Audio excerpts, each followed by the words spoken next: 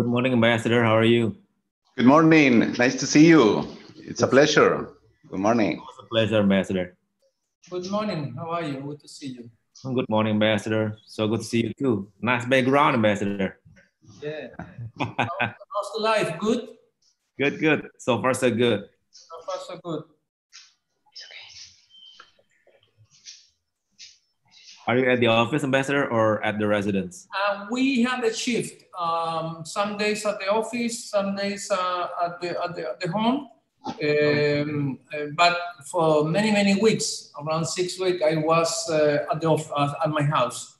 Uh, Oh. Now we are moving in, in a shift. I heard that you are still, you're not going to Kemlu, no? Physically. Uh, yeah, a bit, a bit. Uh, we are implementing uh, a strict health protocol, Ambassador. Yeah. But we have some some meeting rooms in which we can observe uh, strictly the health protocol also. So if there is any urgent things that you need to discuss with us face to face, uh, we are open to have Yeah. that. But of course, you know, one or two persons, not more than that. Yeah, um, but but I heard that two things that you have some sort of um, source of um, um, uh, COVID in Kemlu. I, we heard that three or four colleagues at Kemlu were, you know, um, um, got the, positive uh, COVID nineteen uh, contagious. And the other thing It doesn't work properly, huh? yeah, and yesterday uh, we heard that um, you will have some sort of um, agricultural agricultural seminar uh, next week and will be uh, with the presence of all the ambassadors interested. And so it will be maybe the first activity. We heard that that uh, yesterday from the Argentinian ambassador. We were together in a seminar. Yes, I, I think so. Some some some colleagues are already preparing that. But of Yeah. course, again, we are uh, implementing the strict health protocol. Good, thank you very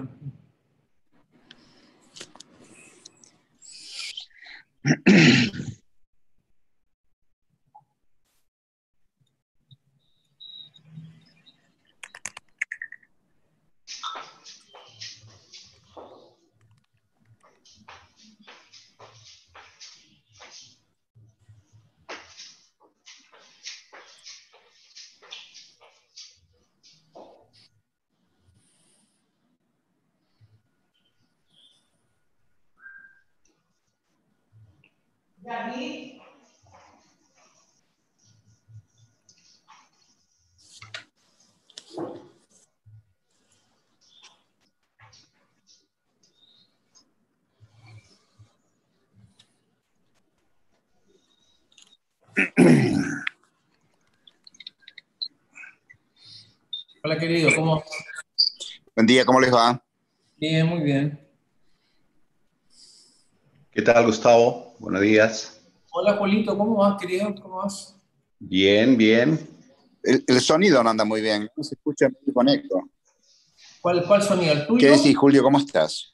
¿Qué tal, Gustavo? No sé si el tuyo o el tuyo. ¿Te refieres a mi voz? ¿De No, Perú? a, a vos te escucho perfecto, a Gustavo lo escucho con eco. ¿Aló, aló, aló? No, ahora bien.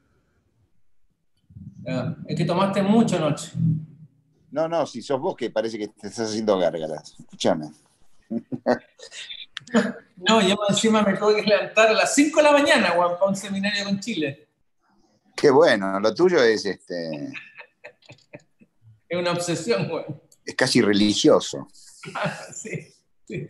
Sí. Qué espanto lo del Líbano, ¿eh? Oh, Sí, horroroso. en la. Cancillería. Por el amor de Dios, qué, qué locura. Sí, son 10 kilómetros el impacto, ojo, es harto. La- nosotros recibimos información de que nuestra gente lo, lo de una embajada ya está bien. Pero, pero el susto es gigante, encuentro. La, la nuestra también porque estaba haciendo home office, porque la embajada quedó hecha bolita. Ah, O sea, se cayeron todos los hilos rasos, todo, porque está, relativa, está dentro de la zona de, de alcance de la, de la, explosión, así que rompió todo lo, lo, que es el interior, el exterior, pero gracias a Dios estaban haciendo home office, así que no le pasó nada a nadie. Pero absolutamente. No, pero, pero yo creo que 73 muertos por ahora, o 75. Sí. Son números y no Exacto. Y 2.500 eh, 2.500 heridos al momento, con lo cual el número se puede elevar a la N. Qué bárbaro.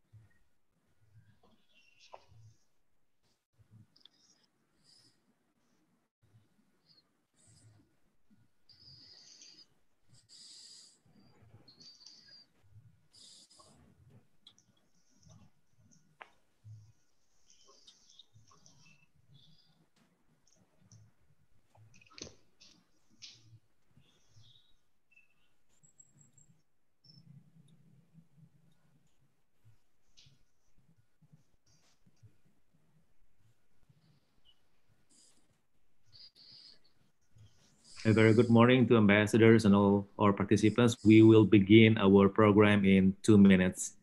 Uh, we will begin at 9.05 sharp. Thank you. Thank you. Great.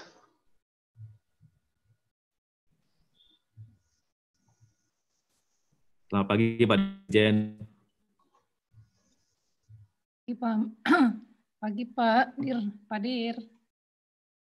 Ya, Bu Dubes. Pagi, Pagi Pak Dir. Selamat malam Bu Dubes. Waduh, begadang lagi Bu Dubes gara-gara kami nih. Apa kabarnya? Alhamdulillah baik Ibu. Pak Halo, Ambassador Julio. Oh, Ambassador Marina Stella, nice to see you. It's a pleasure. Congratulations. We are also having a seminar there in Peru, no?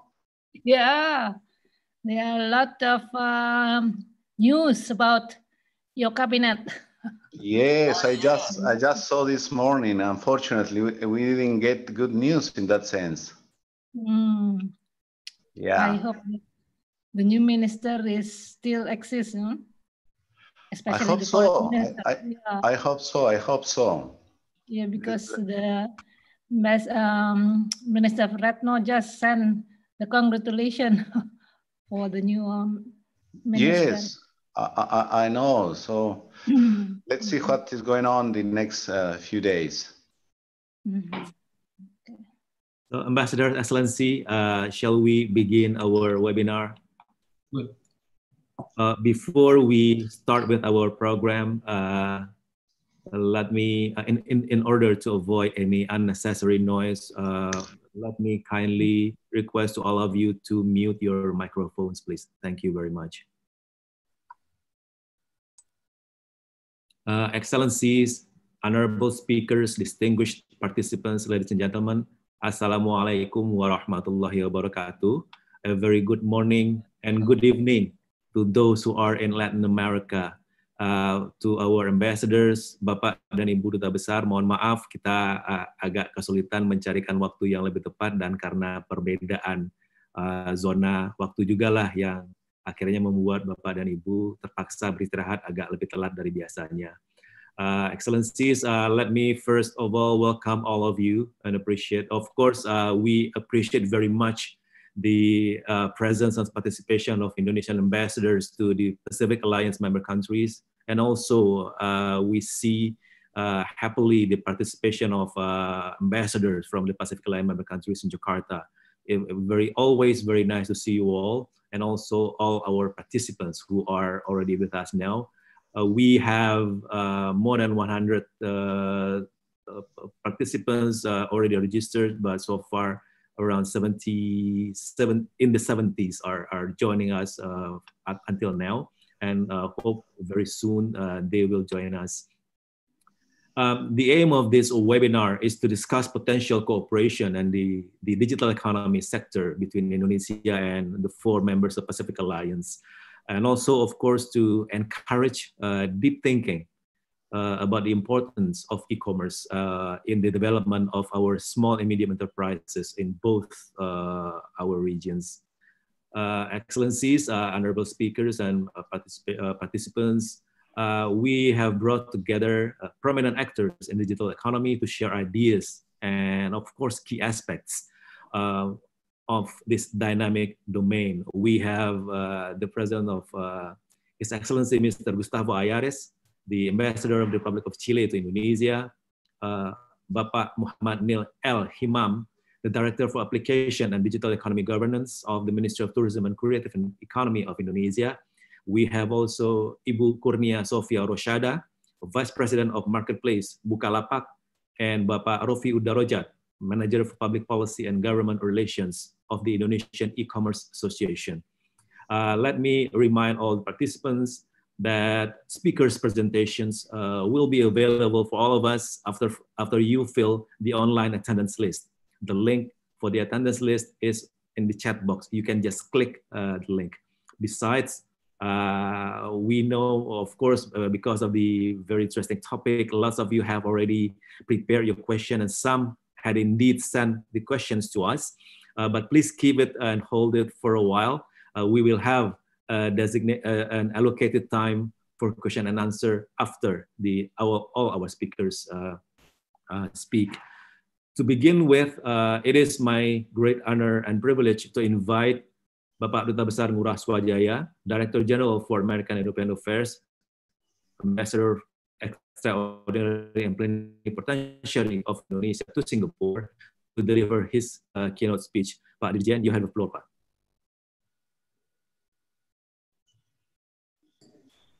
Terima kasih. Thank you very much. Excellencies, Ambassador of Peru to Jakarta, Ambassador of Chile, uh, our colleague, Ambassador of the Republic of Indonesia in the Pacific Alliance member countries, honorable speakers, His Excellency Mr. Gustavo Ayares, Ambassador of uh, Republic of Chile to Indonesia and Jakarta, uh, Mr. Neil El Himam, Director for Application and Digital Economy Governance, Ministry of Tourism and Creative Economy of Indonesia, Ms. Kurnia Sofia Rosiada, Vice President Marketplace Bukalapak, Mr. Rofi Uddarojat, Manager of Public Policy and Government Relations, Indonesian E-Commerce Associations, distinguished participants, ladies and gentlemen, a very good morning to you all and also a very good evening to our colleagues in Latin America, uh, Ibu Estela in uh, Peru, and also other colleagues who are joining uh, us uh, in the evening in, in, in, in their local times. So uh, in fact, time differences should not be a constraint for us when we have this digital, uh, when we have this technology to link us together. Distances is also should not be the problem for all of us. Let me begin by extending a warm welcome to you all to the Indonesia Pacific Alliance Connecting Two Regions Through Digital Economy webinar. Your presence here attests to your compliment, commitment, I should say, to continually strengthen collaboration between the two regions in order to grow and prosper together. Indonesia has a strong relationship collectively with the Pacific Alliance as well as also a strong relationship bilaterally with its member state. In the trade sector, Indonesia's total trade with the Pacific Alliance in 2019 amounted to 1.72 billion US dollars. And the Pacific Alliance member states comprise of Chile, Colombia, Mexico, and Peru. Collectively, it is the eighth largest economy with a total GDP of more than 4 trillion US dollars. And this is also 38% of the Latin America's GDP. So I think this is uh, really a very strong economy that we will be able to collaborate together bilaterally with Indonesia. The main mission of the Pacific Alliance is, of course, to promote trade and investment with Asia and the Pacific countries. And digital economy should be the way forward to develop closer and deeper business interactions between the two regions. Indonesia's digital economy itself, it has a potential, and this is expected to grow fourfold by 2025 at the value of approximately 240 billion US dollars, thanks to the continuing infrastructure development, expansion of the Palapa Ring telecommunication infrastructure, which is covering the whole Indonesia's archipelago. It is currently having five tech unicorns, including also the one that is participating as the panelists in our discussion today. And the Indonesian digital economy is the largest in Southeast Asia. And we also serve to connect the Pacific Alliance to the greater region in the Southeast Asia. So this is not only about Indonesia's 260, 270 million market, but also we are talking about 600 million ASEAN market. And hopefully, if the regional comprehensive economic partnership is to be signed, the agreement at the end of this year, then we are talking about the, the largest uh, free trade agreement uh, in the world. Even though the COVID-19 pandemic has become a significant disruption and has affected the world's economic growth, including that of Indonesia. However, I firmly believe that the, in the economic field, particularly in trade and investment, Indonesia and the Pacific Alliance cooperation could continue to grow for the mutual benefits of the two regions through the application, of course, of the technology in their interactions. Excellencies, distinguished participants, colleagues, as a consequences of the pandemic, almost all business sectors in the country have been affected. GDP of most countries plunged into negative territory. International cooperation, global supply chains have also to be reshaped. In its June 2020 economic outlook, the OECD projected a 6% drop in the global GDP and a 7.6% fall in the case of second wave of the pandemic occurring by the end of 2020, with a double digit decline in some of the most affected countries. And it might be followed with modest recovery of around 2.8% in 2020. And I think this is going to be made possible, of course, if the vaccine is available by then. There is nevertheless still many reasons to remain to be optimistic in the middle of this crisis, particularly when we are talking about businesses during as well as post pandemic COVID 19. COVID 19 is, in fact, have accelerated the rise of digital economy. The pandemic have become a reality check for businesses that have been reluctant to embrace the digital transformation.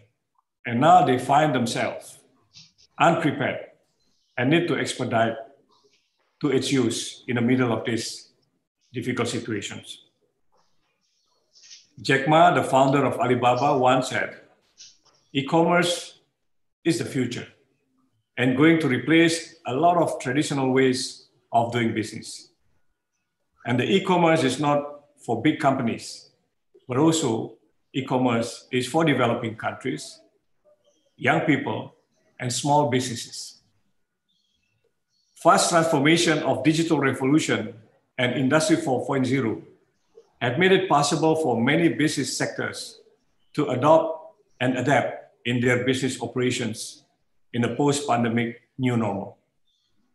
It will soon be expanded, hopefully, to cross-border business interactions. In this case, we are talking about Indonesia and the Pacific Alliance countries. As both Indonesia and Pacific Alliance countries have been embarking rapidly into the growing potential of digital economy, as both have also significant trade and investment potentials that are yet to be optimized, the pandemic should be utilized as a crucial momentum to start bridging the two regions, the two countries, in this important undertaking. We should also identify ways and means to develop smart economic partnership and start our endeavor from practical cooperation to help post-pandemic economic recovery efforts. One of the ways and means to diversify economy for countries during the, most, the post-pandemic COVID-19 is leveraging the broader use of technologies, especially among small and medium enterprises, and on business potentials that could bridge more interactions across the Pacific.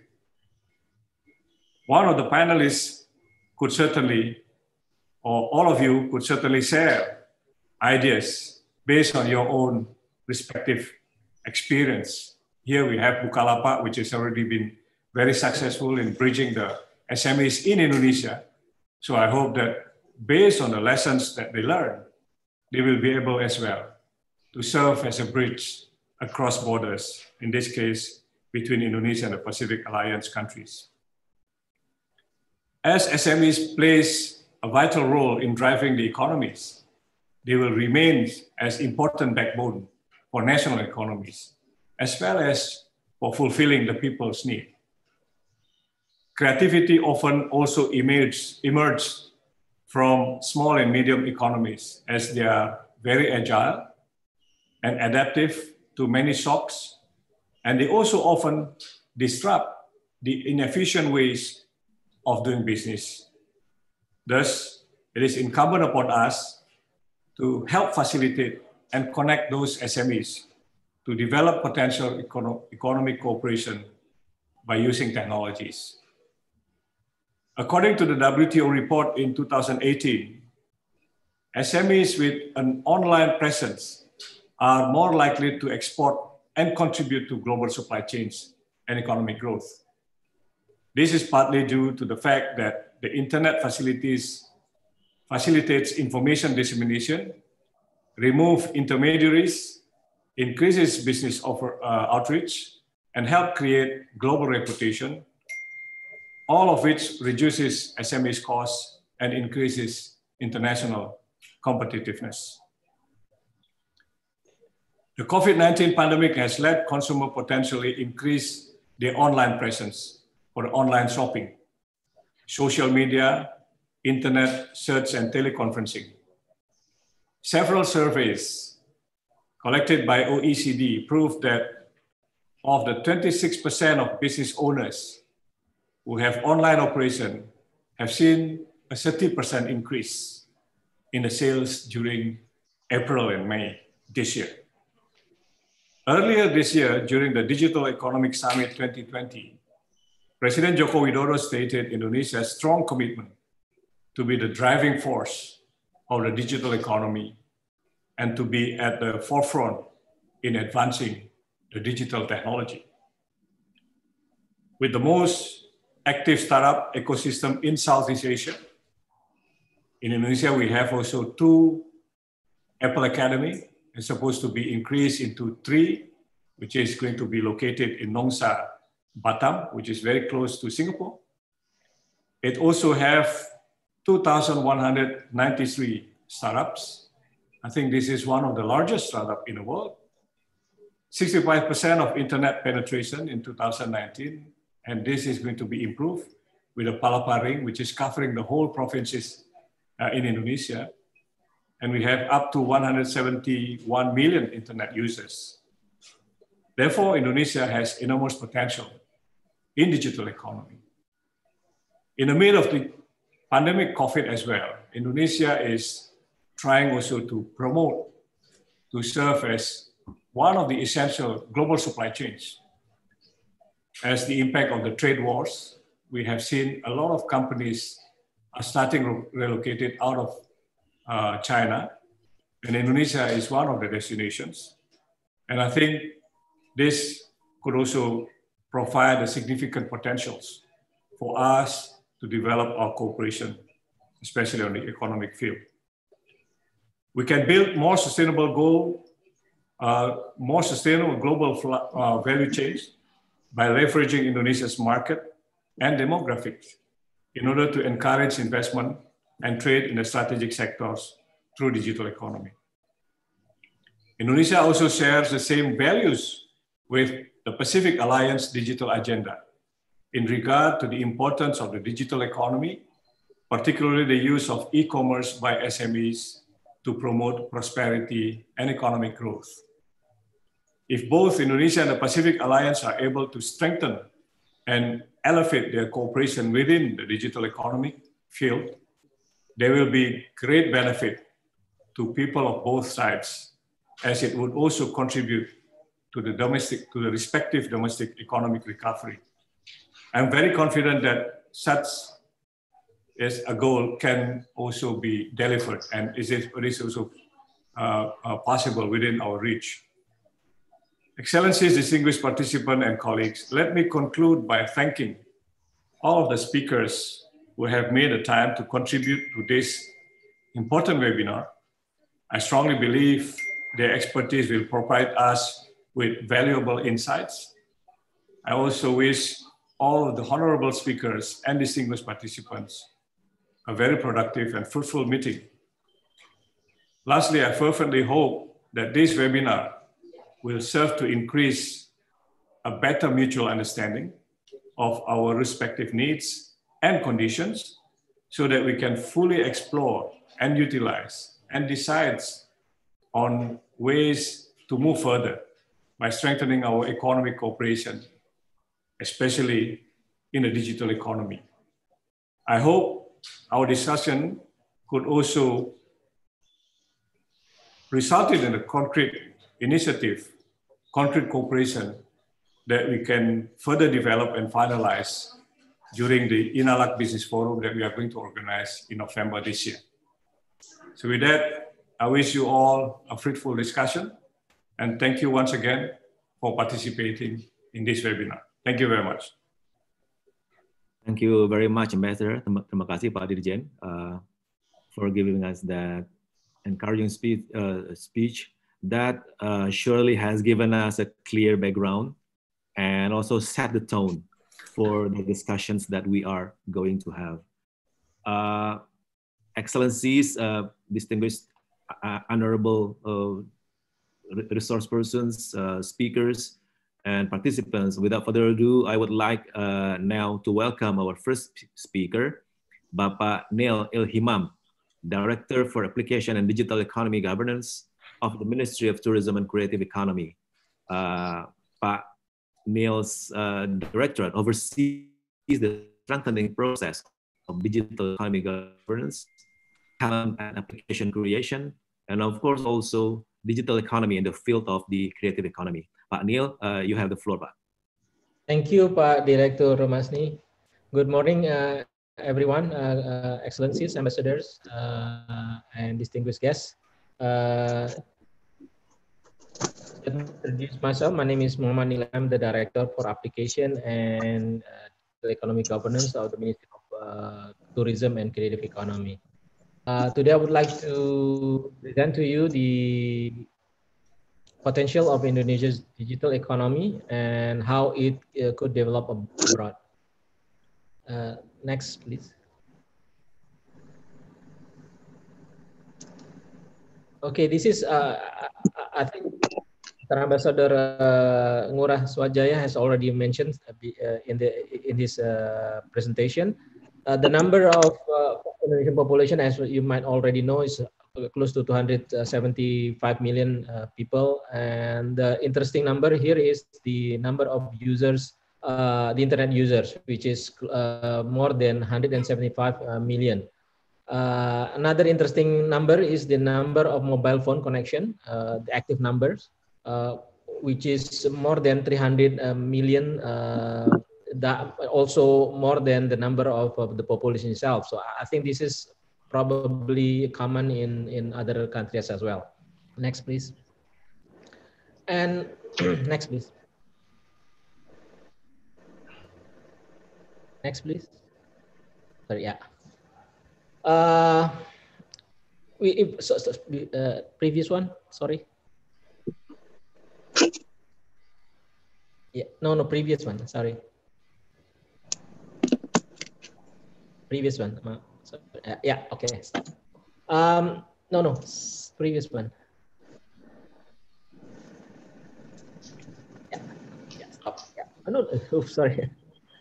I think the the the, the players, uh, the slide player is uh, uh, going on. But if you could uh, go back uh, the slide, sorry.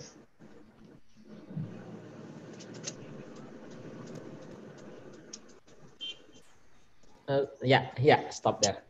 Okay, I'm just want to talk about uh, how uh, the impact uh, and opportunities of creative economy and combine that with the digital economy as well. As no, if you take a look at the, the if you take a look at uh, the thing that I put in, uh, on the slide there, like for example, Pokemon, Hello Kitty, Star Wars, Harry Potter, uh, Phantom of the Opera, and as well as our own Gojek they are all based on creative economy. And if you know, if you notice there, uh, Pokemon uh, values right now, the market values is uh, close to 100 billion US dollars, or in our rupiah is uh, more than 1500, uh, uh, more than 1400 trillion rupiah.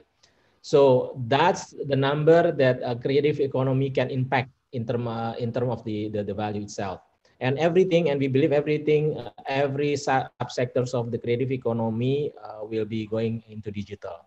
Now on the other side of the slides if you can see there uh, a part uh, the, the, part of the number of the internet users that we have 175 millions.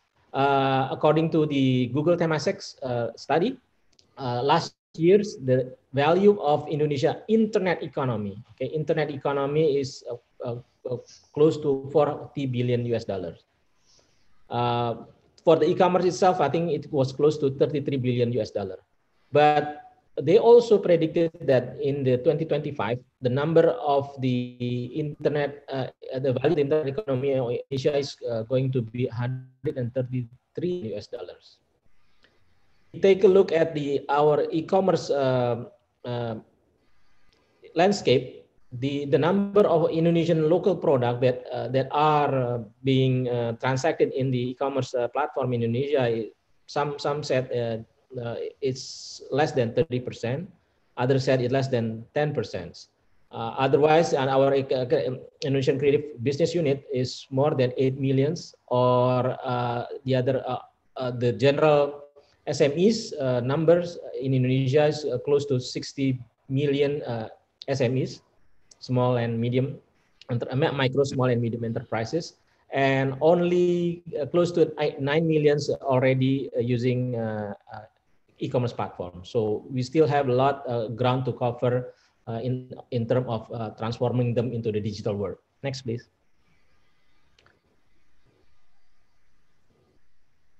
Next, please. Yeah, stop. Now, this is the, the, the, the, digital ecosystem as we see it. So we need to have resources, of course, infrastructures, technology, uh, financing, product and services, policy and regulations.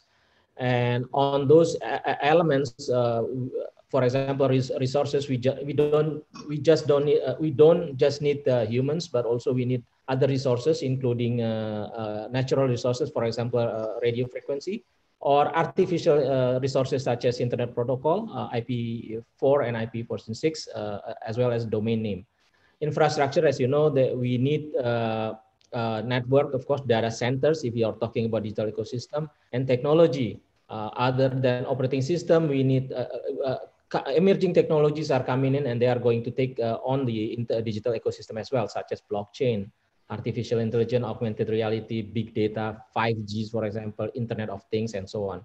financing in terms of digital ecosystem, there are several alternative financing, financing. And for startups, usually they opt for the angel investors as well as, as well as the venture capital. now nowadays also banks uh, the conventional financial uh, system already uh, look at the, the, the digital ecosystems financings as well now product and services uh, of course the the digital economy the product of this digital ecosystem our digital economy uh, uh, based mostly are in the, in the form of services as well as product digital products such as apps and content as well and in terms of the digital ecosystem as well, we need to have a policy and regulation in place uh, to make uh, this uh, digital ecosystem works uh, uh, as, as we intended to, to work. Next, please. Now, this is uh, what we have done previously before joining with the Ministry of Tourism. we are called the, the Indonesian Agency for Creative Economy or Bekraf and uh, so one of the program that uh, we try to build is to uh, build a pipeline for uh, the digital uh, economy itself uh, from from the from the one end to the other end. So we try to co cover the whole ground and, and, we try to continue this in our new merger, merger, merger of the ministry and the agency as well. So for example, we have on, on the talent development, for example, digital talent development, we have this what we call a Baparekraf Developer Day. Uh, it basically trying to uh, bridges local de developers in all in all over Indonesia. At one point, we even go to Jayapura in Papua, uh, Manado in, in Sulawesi, uh, in North Sulawesi, uh, to make sure that we have enough digital talent and we have uh, uh, we connected with them. Uh, the, they, they are connected with the technology, the emerging technology that they, uh, that that are coming up. Uh, and then we also have the Baparekraf Developer Conference. This is for the top developers to gather and to uh, to talk about the the technology that are coming up and what they have done. Uh, usually, this is a developer that already produce some of the most download downloadable uh, downloaded uh, apps uh, in app stores or in play stores as well and then if those who wants to become uh, startups uh, we have a program called BEKUP uh, for or baparekra for startups now or if you want to transform from the off, offline to online platform we have what we call BDE Baparekraf Digital Entrepreneurship. This is for the conventional SMEs to, to engage into uh, uh, to onboard uh, the e-commerce uh, digital uh, eco economy ecosystems. Uh, and then we also have bantuan pemerintah or government assistance, as well as government incentive program BIP. This is basically providing them uh, providing with the startups and the uh, the uh, creative uh, economy uh, players or with uh, finance as well as in in kind support for example like tools software hardware and so on and when they have products for example in the game for example game we also have provide them provide them with the, some kind of uh, events, uh, national events, as well as uh, later on we also have the international participating in international event as well. So for the national event, for example, it's we call it a Game Prime, Baparekraf Game Prime is still going on right now. Uh, actually, today uh, it was starting last last uh, Saturday, and today last yesterday and today is for the esport part of it. And for the startup, we have a Go Startup Indonesia, and we are uh, going to uh, as a pipeline from the our program uh, of BEKUP. And for if they want to uh, export their product, their, their, digital product, we also uh, uh, facilitate them into participate in in international. For example, South uh, South uh, South by Southwest in Austin, Texas, for digital products. Uh, Gamescom and Games Connection America for for for uh, uh, digital for video games.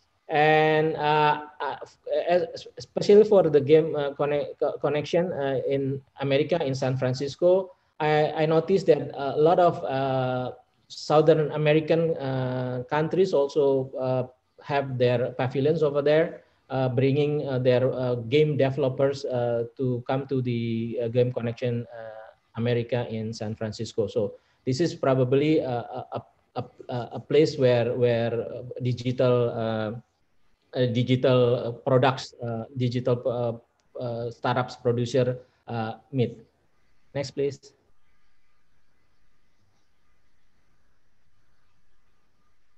Next, please. This is just uh, some some of the landscape of Indonesian startups uh, for the digital economy. Um, on the on the left side, it's for the SMEs landscape for SMEs. A lot, including Bukalapak, is there uh, for B2C or B2C uh, and C2C uh, marketplace. Uh, all these are the uh, Indonesian startups that are there uh, that are there to to cater for the the need of the SMEs. On the right side is our landscape, Indonesian landscape for the health tech startups. Uh, a lot of uh, right now because of the COVID, because of the the, the, the geographical condition of Indonesia itself, uh, uh, I, I, believe that health techs should be the next the next way to go for startups for for us, especially for the nation to be able to provide quality and, and affordable uh, health uh, services. Next, please. This is just some of the example that, that a few notable startups that we think is going to be uh, big in the in the in the futures. For example, for this Hati Tele CTG is basically an application-based uh, CTG. Uh, this is for uh, detecting monitor fetal well-being for the, the, the, the heartbeats uh, that can be used by midwives and doctors in both rural as well as urban area uh, to provide uh, high quality of maternal health services. Uh, the other one is Hara. Uh, Hara is basically a, a blockchain-based, blockchain technology-based startups that, that use the technology to connect rural smallholder farmers with banks, insurance companies, input producer, and so on. And the other one is e-fisheries. This is basically IoT-based uh, startups that use data and technology uh, to help uh, parties in aquaculture ecosystem, uh, making farmers uh, be able to gain the opportunity to increase the productivity as well. So this is some of the, the, the uh, like the ambassador uh, Ngurah uh, uh, mentioned before, we have close to 3,000, more than 2,000 startups in Indonesia, and this is just some some of them. Next, please. Manil, kalau boleh dua menit lagi ya, Pak. Yeah, this is the last one. Um, I just want to mention a bit about about Gojek, uh, the the, uh, the uh, one of the our decacorn actually. This is, they already ha have a, a exist, uh, existence in uh, five countries in 200 more than 200 uh, cities. They have 2 million uh, drivers, more than 400,000 uh, merchants uh, in their platforms, and their GTV, gross transaction values, is more than 9 billion. And they just, I, I think last year valued at more than 10 billions. And we can also say that they're uh, de facto e-commerce platform because everything is there. Uh, this is just a question uh, uh, is this going to be uh, the thing that you know is it too big to fail and and i believe this is this is my, uh, our prediction uh, is two years ago actually i predicted that gopay is going to be uh, the next unicorn and actually just a few weeks ago just a few days ago gopay is considered valued as more than 1 billion the next one i think i believe is going to be gofood and gosense is also going to be the, our next unicorn uh, I think that's uh, our, my, my presentation and uh, open to the discussion and thank you for pro providing me uh, the chance to talk in this uh, occasion. Thank you so much. Thank you very much, Pa Neil El Himam. Uh, that was clearly very, very enlightening for us to see the whole landscape of Indonesian e-commerce right now. And allow me to make a, a, a minor change to the order of speakers. Uh, may I now invite uh, His Excellency Ambassador Gustavo Ayares uh, to uh, make his presentation. Uh, you have the floor, Ambassador. Very good morning to everybody. Um, my colleague Pablo uh, we will uh, pass some slide, okay? But I would like to first um, express our gratitude to Kemlu, um, also to the Ministry of Tourism. Um, um, also, I express my appreciation that some Amer Latin American ambassadors are with us uh, this morning. So, because it's an issue that is very important for us. But first of all, I would like to express um, on behalf of the Pacific Alliance Ambassador and all the Latin American ambassadors present here, our sincere wishes of success to His Excellency Ambassador Ngurah as the new DG for the Latin for American and European Affairs. Uh, I had the privilege to um, met him in Singapore last year, and hopefully we will see him soon, sooner than later when you know all this uh, um, and, and, protocols um, are, uh, you know, uh, we are moving to next stage. Before uh, making some precise comments on the digital uh, ecosystem in, in, Latin America, specifically in within Pacific Alliance, I would like to uh, make some uh, preliminary comments regarding the crisis provoked in, in, Latin America with the COVID-19. As um, you may observe, the current crisis has demanded in, in all regions rethink aspects of traditional agendas. Before uh, November uh, 2019, the global agenda was already under pressure by various disruption. Um, it, it, one of them, some of them are, for example, the broken consensus uh, regarding globalization, the weak role of the WTO, the, the crisis provoked by climate change, declining commodity prices, and the impact of the Industrial Revolution. Uh, from the very beginning of 2020, the picture already changed in a very dramatic way, um, adding some uncertainties and especially uh, fear for the future. Uh, surely passing through this period of emergency, the world population will be poorer and more vulnerable, demanding concrete action from the government to recover the economy and the, uh, protect the citizens. Uh, during the crisis, Latin American countries, as we observe in ASEAN, enhances policies aiming to promote telemedicine, e-commerce, educa educational technologies, uh, boost fintech, strengthen e-government, in other words, to make digital transformation as a reality. The numbers, as we know today, speak that the, the GDP average in Latin America will suffer a constriction of at least 9%. Uh, as uh, in other region of the world, Latin America will suffer severe effects such as uh, surging uh, poverty, unemployment, and uh, other social indicators uh, will uh, surely uh, suffer a, a, negative turn. In order to, for um, in order to to um, to revert the effect of the crisis, we think that the leaders should accept our leaders in Latin America should accept that business as usual is not going to be enough to recover economic expectations, especially if we recognize uh, the opportunity to reposition itself in the global uh, value chain and to be appealing choice for destination for global investments.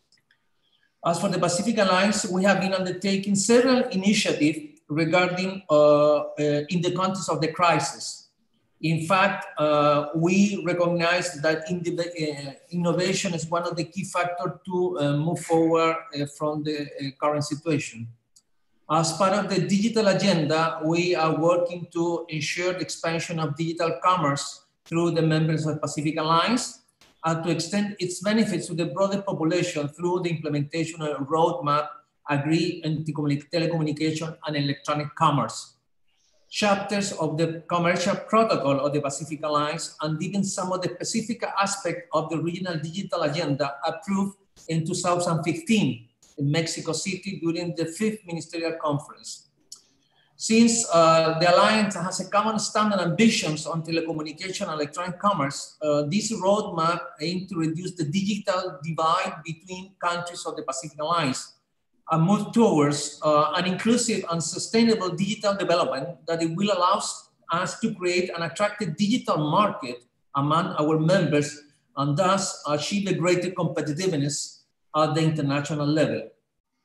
So Pacific Alliance is working and uh, that we have been called Regional Digital Market, RDM, which aim to identify opportunities and barriers associated with the e-commerce in coordination with the ministry responsible for this, uh, for foreign trade. But before to move uh, precisely on these issues and development, I would like to uh, propose to you some uh, view regarding uh, Pacific Alliance. Next, please. So as you can see, uh, Pacific Alliance covered Mexico to Chile in, in practical in terms of from, uh, from Central America, northern, northern part of Latin America till Patagonia. Uh, we, as, as uh, you already know, Pacific Alliance has been promoting the four pillars, uh, free movement of flow, uh, free movement of uh, person, uh, goods, capital, and um, I don't remember the fourth one, but I mean the typical pillar. we would like also to, next please, we would like to offer the possibility of a wide integration, especially in trade facilitation, free movement of people, innovation and entrepreneurship and, uh, um, and create an, an visible platform for academic and student mobility. Next. Uh, in, in very few numbers, uh, we are talking about around the, the four Pacific Alliance members, uh, we are talking about around 230 million uh, people with an average of 19,000 per capita product in, in 2019. And our export uh, roughly is around 630 uh, US dollar billions. Those figures, except the population, maybe we must review uh, after uh, the crisis.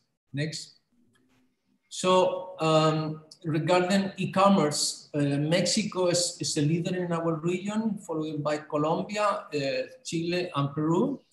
The numbers are there. Uh, for obvious reason, uh, the most extensive market in, in, in, Pacific Alliance is the Mexican one. Uh, but in, we are, let's say, under the standard of the OECD, under the average. So our, our goal is to, to be closer to the OECD. I, could remember, I would like to remember you that uh, Mexico and Chile are a member of the OECD, so our standard are uh, normally measured under the OECD um, uh, rule. Next.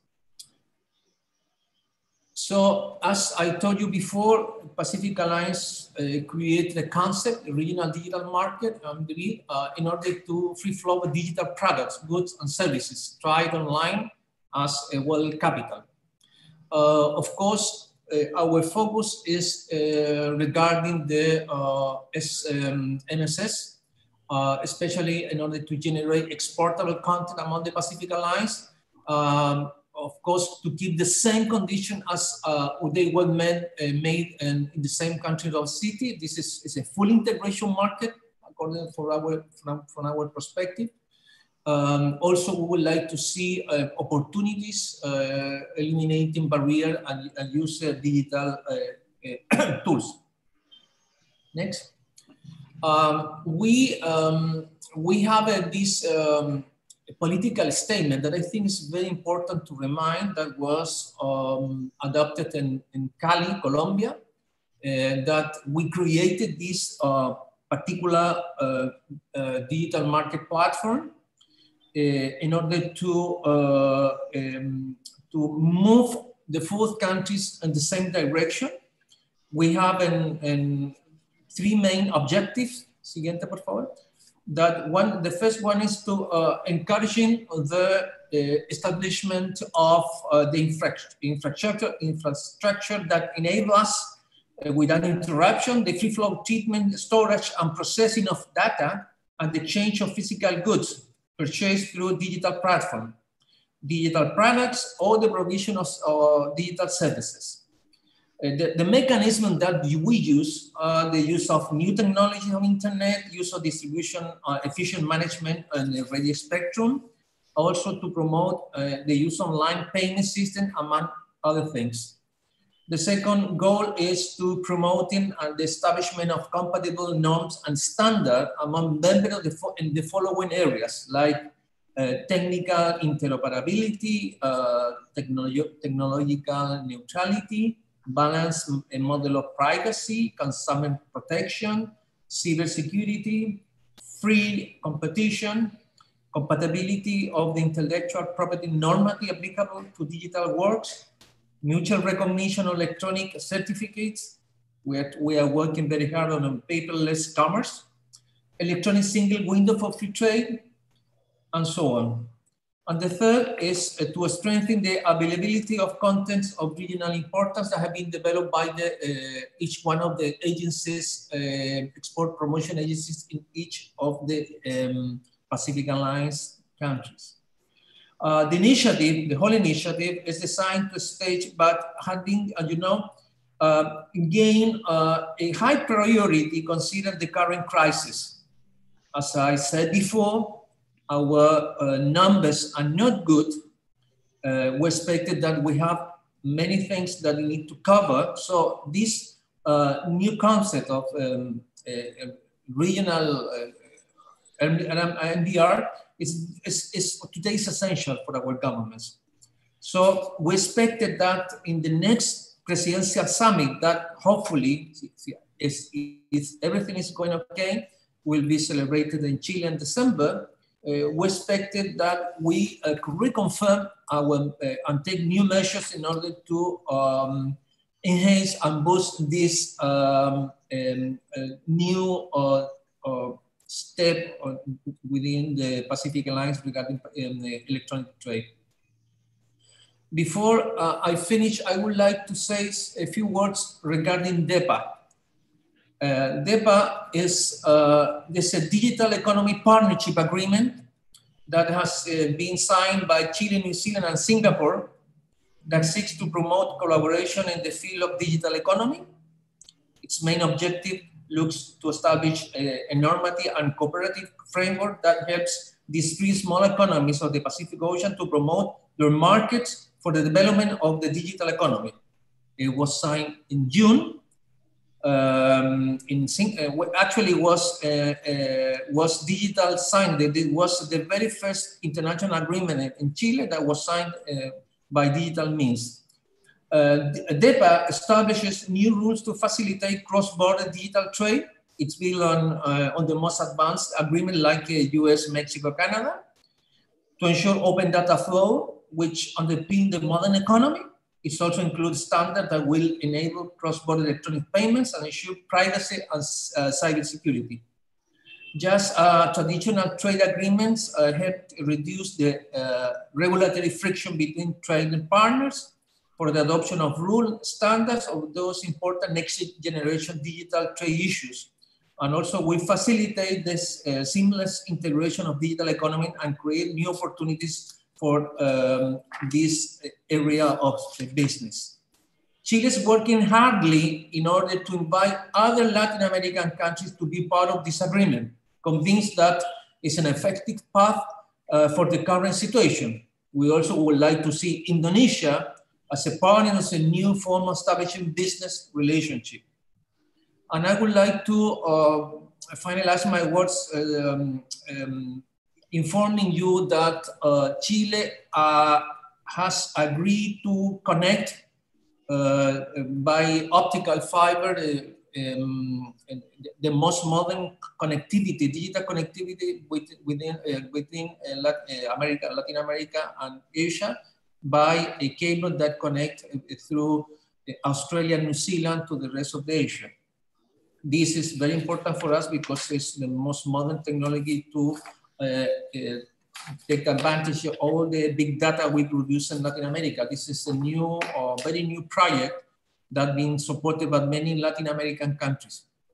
I think those are my words and I'm ready to answer uh, any questions that you, you have for, for for not exactly for Chile. I'm representing the four Latin American countries that we are member of the Pacific Alliance. Thank you very much.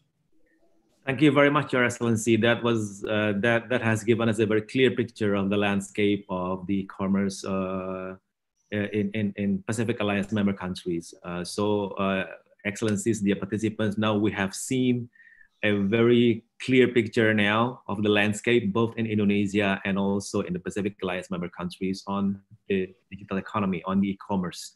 Uh, what, uh, what, in, in what kind of uh, settings the government is ready to, to you know, to, to, to push, to, to uh, give or provide an enabling environment for the SMEs and e-commerce to grow and interact with each other. Now we will move to the second part of the, the, the, the speakers uh, from the, the practitioners from the business itself. Uh, first, let me invite uh, Bapak Rofi Uddarojat uh, from the Indonesian E-Commerce Association. Uh, uh, we hope that Pak Rofi can illustrate illustrate Indonesia's e-commerce ecosystem in the midst of COVID-19 and how e-commerce uh, could help uh, our small and medium enterprises to penetrate the global market. And we have also been informed that there are now initiatives to encourage uh, the SMEs to go digital and expand their market reach. Uh, uh, market reach. Uh, please, Pak Rofi. Um, yes, thank you, uh, Bapak Masni Reza, the moderator, uh, Mr. Director General, Bapak Ngurah Swajaya, Mr. Ambassador for Chile, His Excellency Gustavo Ayares, ambassadors of Indonesia to the Pacific Alliance member countries, ambassadors of the Pacific Alliance member countries in Jakarta, and other distinguished uh, speakers, Pak Neil El Himam from Parekraf and Mbak Kurnia from Bukalapak. Uh, I would like to thank um, Ministry of Foreign Affairs, first of all, for the invitation that allows me to speak at this important event. Uh, I think this is important because, as we know, digital transformation has benefited uh, millions of Indonesian people, open up access to a livelihood for our middle class community, benefiting the low middle income household, as well as empowering women. Uh, I would like to talk more about what current situations, what is the fact in our digital economy, and uh, how we cope with this pandemic, and what we can do uh, to promote uh, two regions' friendship to digital economy. Um, yeah, next slide, please. Um, yeah, I would like to uh, uh, introduce my own uh, organization first. We Indonesian e-commerce associations established in 2012 by nine e-commerce companies. Uh, at the moment, uh, we have more than 236 members e-commerce companies that include some of the business models that I mean I, I have already included here: a marketplace, online the retails, uh, as well as the OTA travel agencies and ride-hailing as it in the ecosystem e-commerce. So our activities include advising business members, leading policy advocacy, conducting events, so on and so forth. So I think this uh, like of the common the business association. So uh, next slide, please. Yeah, so uh, what is the number? So how big are we, Indonesia? Uh, what steps are we already on?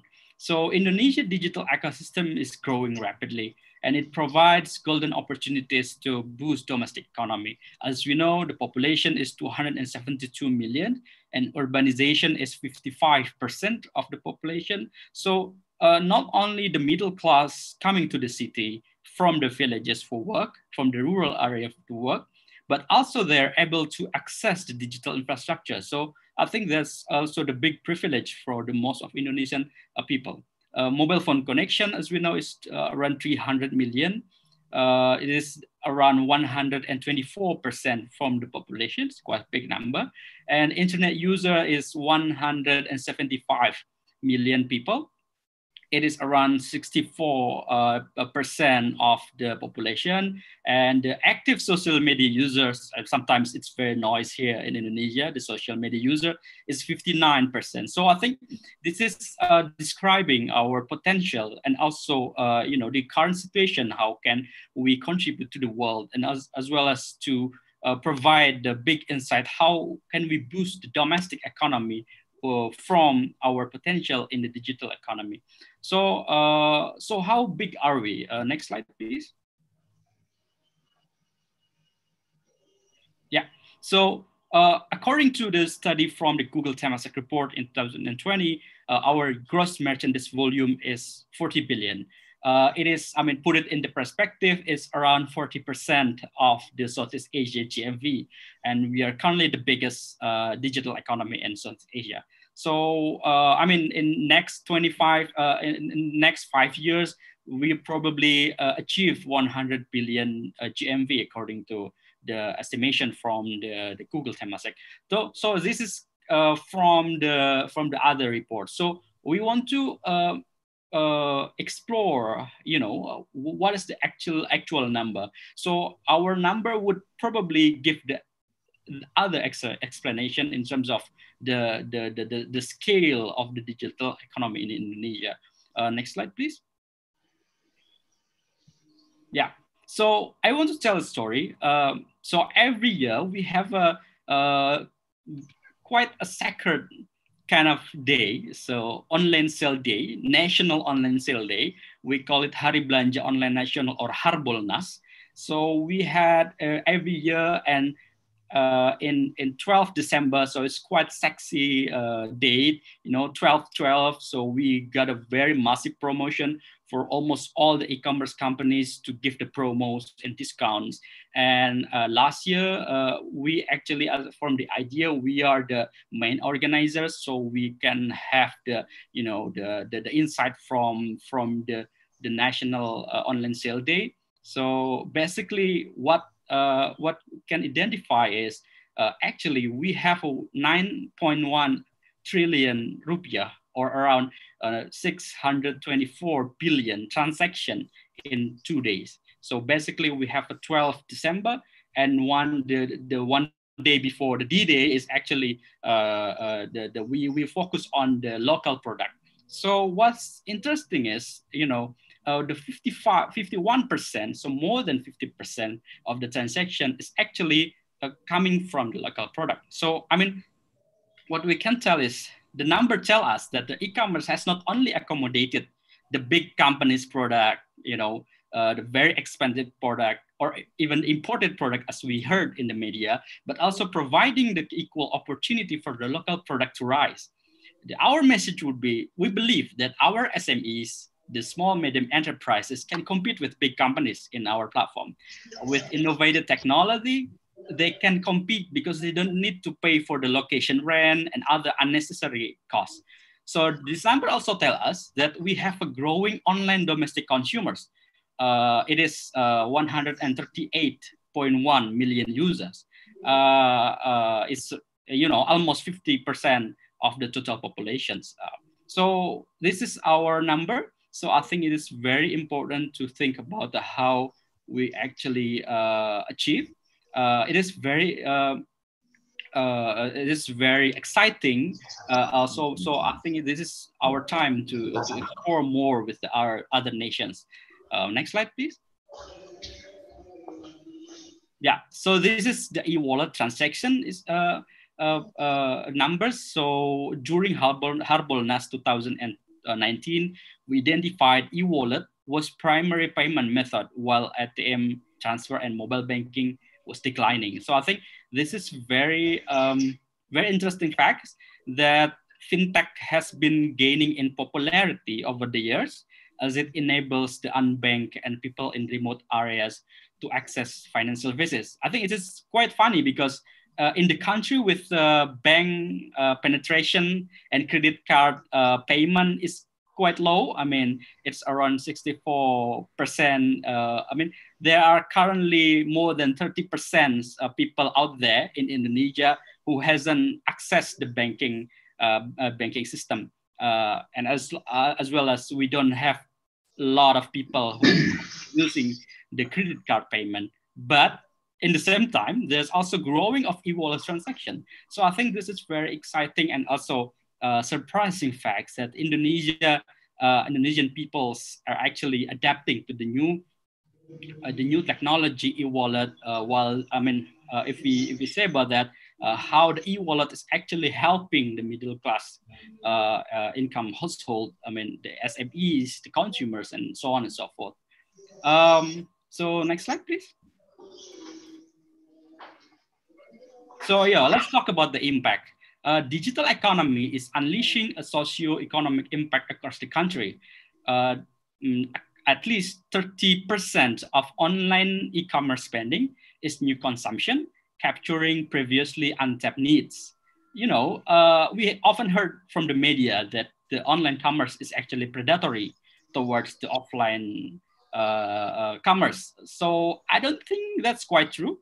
I mean, according to the study, we actually generate the, the new uh, spend, the new consumption from the people who actually hasn't uh, uh, uh, generated the access to the, to the effective or efficient commerce. So they actually uh, gaining the benefit from the online e-commerce without actually, you know, uh, becoming predatory towards the off offline commerce. Uh, so the, the second uh, impact is I would like to also describe about the about the jobs creation. 26 million jobs supported, primarily at micro, small, medium enterprises, SMEs. And I can say that more than 90% of our merchants are SMEs.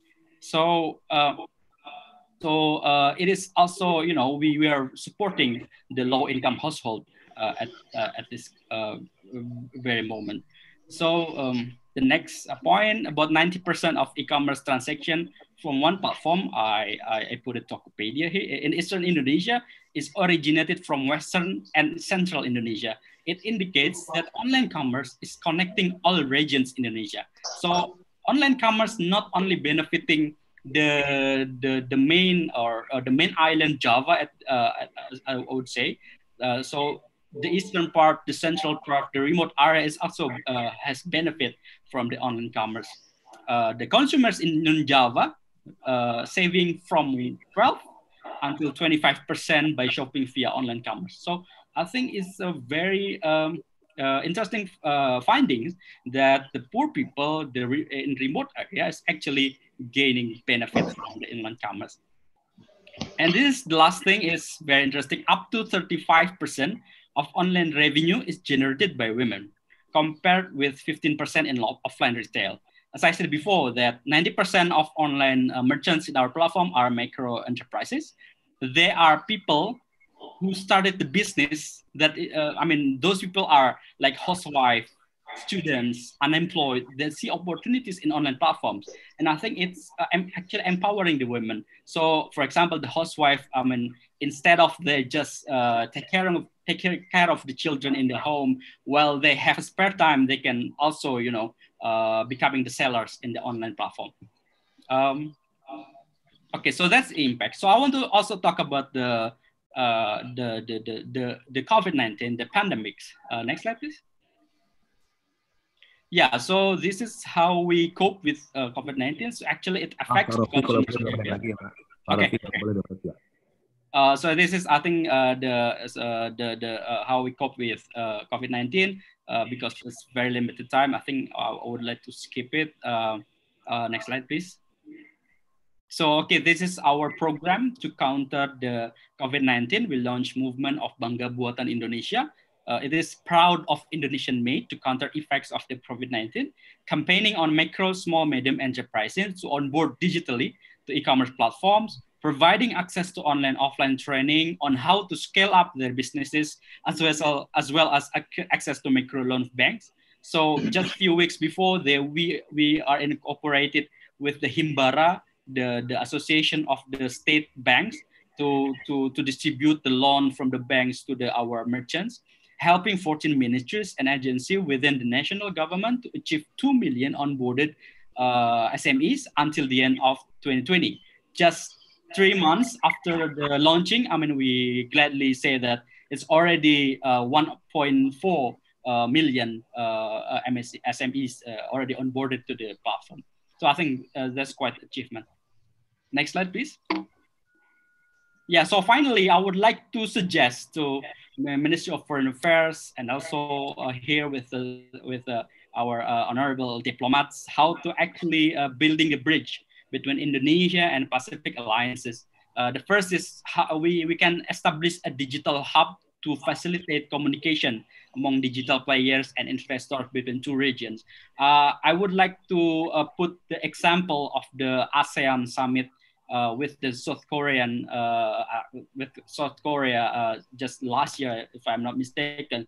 That I mean, within the events of the summit, we actually had the events of the the the digital players you know how we can share the knowledge and skills and how can we can learn each other from the two uh, great uh, from the each nations. So i think uh, some of the our players are invited to the summit. I think that would be the great opportunity. Later later i mean digitally or later if we after the pandemic if you guys have summit and i think it's very important to to have that, those kind of events. And the second is facilitate potential cooperation among digital platforms from skill and knowledge transfer. I think that uh, the, the, event that I was that I have mentioned, I think this is uh, very strongly correlated with the second point. This uh, the third point uh, would be the exploring new markets in two regions to help MSE uh, SMEs from each uh, countries.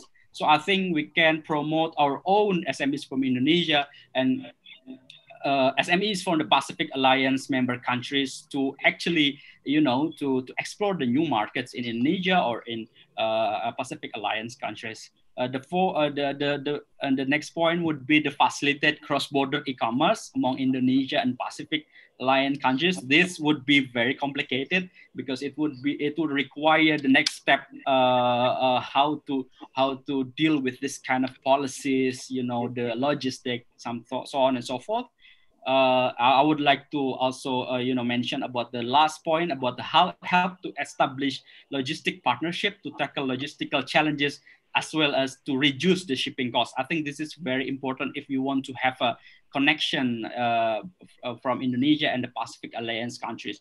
So uh, the last point I would like to mention is building product database. It is very important for us between two regions to strengthen uh, SMEs digital marketing. Think it is uh, this is the task that could be implemented uh, by the uh, the embassies within uh, the Indonesia or the Pacific Alliance countries. I think uh, because they are the most likely to know, uh, you know, the the each of the product database. What is the, our strength or our what is the the potential product that could be marketed in the the Pacific Alliance countries that also apply to the Indonesia. So uh, I think that I want to propose uh, Pak Masni and other speakers. Uh, uh, I hope this could help our friendship more and building the bridge of diplomacy between Indonesia and Pacific Alliance countries. Uh, thank you very much. Thank you very much, Pak Rofi. Uh, that was a very clear explanation indeed on what the, the, the industry setting now in Indonesia. Uh, let me now uh, move to our last, but certainly not the least speaker, Ibu Kurnia Sofia Roshada, uh, Vice President of Marketplace of Bukalapak. Of course, uh, most of you, I think all of you know about Bukalapak, even, even the, the ambassadors know about the, the Bukalapak. Many argue that with the advancement of e-commerce, uh, people using the internet for their purchases no longer need to be physically present when, when their transactions occur. And uh, e-commerce, of course, not only has created major changes in the retail and service industries, but also has led to business development, uh, communication on economic factors, and improved productivity, reduce costs, and save time for our uh, small and medium enterprises. And for sure, as one of the leading e-commerce sites in Indonesia, Bukalapak has a major role in developing Indonesia's SMEs through digital connectivity. Now, of course, we I would like to hear more directly from Ibu Kurnia uh, Sofia Roshada. Uh, the floor is yours, Ibu. We would highly appreciate it if you could uh, kindly uh, give your presentation within uh, 10 to 12 minutes. Please, Ibu, you have the floor. Okay, uh, thank you, Pak. sorry. Thank you so much for the for the time, everyone. So I'll be sharing a bit about uh, Bukalapak and also um, and also some update as well related with the COVID and um, and also like a potential uh, potential collaborations that an e-commerce or technology startup can can have um, in a, in a cross border uh, in a cross border context. Okay, uh, so yeah, um, I'll be sharing a, a PPT. Uh, just a moment.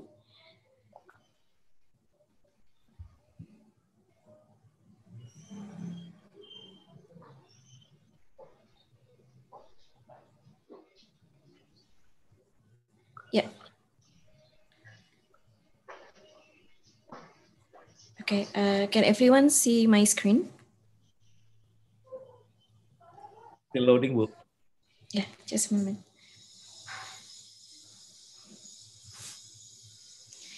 Okay, uh, so yeah, uh, good morning, everyone. Um, so today we will be um, we will be studying a bit about how to open more opportunities with Bukalapak and also to grasp the uh, opportunity and tackling the challenge in developing your business uh, to penetrate the global market. So just a quick glance about Bukalapak. Um, so as one of the e-commerce in Indonesia, we have more than 90 uh, million monthly active visitors. Uh, and we have um, more than 2 million daily transactions that we handle um, in every day. Um, and there's also like uh, more than 5 millions of monthly active sellers uh, that are with us. And uh, there is also 2.5 millions of Mitra Bukalapak across Indonesia. So uh, just a bit of a snapshot as well. So we have uh, been present in the e-commerce landscape for more than 10 years. Um, and with 2020, we actually uh, changed a bit on uh, on our vision. So what we want is um, an enablement of like financial inclusions and also fair economy for all. And this way, we are focusing on building SME. So continuously innovating and supporting the SME by recently, uh, for example, recently partnering with Google to register more than uh, 95,000 of traditional stalls uh, in Google Map and search. And we are also um, awarded as a fastest growing company in APAC, uh, according to the Financial Times, and also um, yeah, and ups, yeah, and and in this case um, for Bukalapak, the product itself are uh, basically divided into three. Which is uh, first is the online marketplace, uh, secondly is Mitra Bukalapak, which is where we empowered all of the uh, offline stalls um, or warungs in, in, in, in Bahasa. And we also have a virtual products, which include um, a phone credits or payment top up or uh, even for paying taxes um, and also for uh, remittance. Okay. Uh, from the Bukalapak marketplace uh, channels, um, we have three types of, um, of a merchants. In this case, it's a super seller, Bukamall, and also B2B. And um, in order to uh, operate uh, itself, we are focusing on a data-driven partnership um, with all of our merchants and also brands. And in this case, we provide data and insight with them for empowering um, our merchants um, to drive meaningful and impactful decisions in their sales and marketing goals. We also continuously innovate and um, and also co continue to do a test uh, test cases um, in achieving the marketing goals. In our uh, platforms, uh, there are multiple categories, um, which is uh, some of our top categories, including tools and utilities, consumer electronic, consumer goods, and, and fashions. So uh, would, would like to uh, share a little bit about the impact of uh, COVID-19. So what we see during this uh, COVID-19, um, even though it is a challenging situation, but um, but what we what we saw is that uh, there is a surging consumer interest. So the changes in the lockdown regulation, for example, uh, has causing the shift in the consumer lifestyle and uh, also including our product requirements. What it means is um, brands and advertisers need to stay current uh, to plan ahead and also be helpful by connecting with the consumer behavior. We also see a lot of an opportunity in terms of the new user growth. Uh, in this case, um, with the new users that uh, probably um, they uh, haven't made an online purchase just yet, we need to build hypotheses to understand who they are, uh, and we see an increasing or emerging um, customers coming from the tier two and tier three cities. Um, and also we need to validate uh, and search for the trends because um, what, what, what we see as well that there is an, a changing behavior in the product that uh, customer are looking. Um, and also there is an accelerated video consumptions um, and also um, an increasing number of entrepreneurs goes online, which is um, basically the local uh, small and medium businesses that are moving online due to the either offline restrictions as well as the growing online consumer demands. Uh, what what is also interesting is that during the COVID, what we see is um, every week there is a changing behavior on what product that that are uh, trending. So, for example, in the beginning, um, there was a, a rising uh, demand related with the surgical mask, and then followed with the hand sanitizer. Um, and we see as well that online groceries are uh, continuously growing. But what's also interesting is that entertainment is uh, growing very rapidly uh, along with the office setup as more and more people actually working from home. Um, and in Indonesia specific, what we see as well, um, there are more uh, customer embracing a specific hobby. So for example, like gardening um, and bicycle uh, are becoming a very uh, trending in, in, in the market right now but uh, this change uh, or these trends actually um, happen pretty fast. So um, so we need to monitor as well what, what is trending uh, not only in a monthly basis but more importantly is also at a at every week uh, at every weekly basis because what is popular last week might not be the same uh, this week. Um, and what, what is also interesting is that um, we need to also be prepared once the COVID-19, uh, in this case, uh, are going to be eased because um, because when we ask a customer like, okay, what what are the things that you are excited about the moment that um, that you uh, have the outbreak uh, completed, and uh, and many of them are answering like either they want to go out dining or they go shoppings. So we, we need to also like um, preparing for uh, the recovery part of, uh, of a COVID.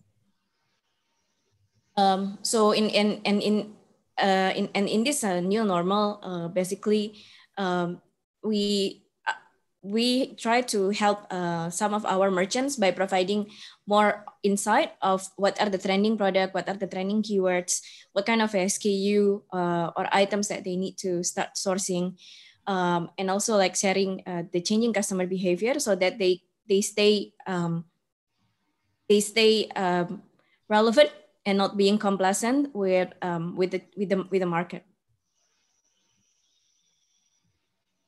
And um, and during this uh, COVID is as well, um, what we see is that online becoming a priority channel uh, versus complementary. So more and more um, customers actually seeing online as the priority of uh, shopping channels as opposed to offline. Uh, and we also see an accelerated uh, retailers becoming online. They produce their own digital catalogs. Uh, they work with a lot of e-commerce um, platforms to, to sell their items. They even host uh, an offline event um, into online. And, uh, and sometimes the physical store is uh, either just used as a collect, but not at the main, as a main purchase, um, purchase point anymore. So what yeah so so yeah these are some some example of like what we see at least in the market in indonesia uh, on on the demand side like um, there is an increasing uh, needs for people looking for outwear motor for uh, muslim outwear for um, ingredients and, um, and and basically the i think these trends are going to continue uh, i think what, what what happened now is is just like um, fastening um, the changing behavior in our customer to purchase online. Uh, and in this case, I think um, it, it is quite crucial for us um, to be able to capture uh, this, this demand. And, um, and, and, and in Bukalapak, basically we try to connect uh, both online and offline uh, with, um, with our platform. So we have the offline uh, shoppers, or in this case, Mitra, uh, as well as online shoppers. Um, and we work um, we work with them to uh, have like an ecosystem where they can complete uh, their purchase either online and or offline and there is also like um, integration as well between uh, offline to online. So for example like um, uh, our uh, offline shoppers in this case mitra uh, are getting an getting um, access as well for our virtual products so that we bring digital literacy to everyone. So um, yeah, so so the support that we provide for uh, merchants as well as brands uh, in order to grow is uh, through on-site placement, off-site co-marketing, um, games, as well as a campaign sponsorship, both in Bukalapak apps as well as in Mitra.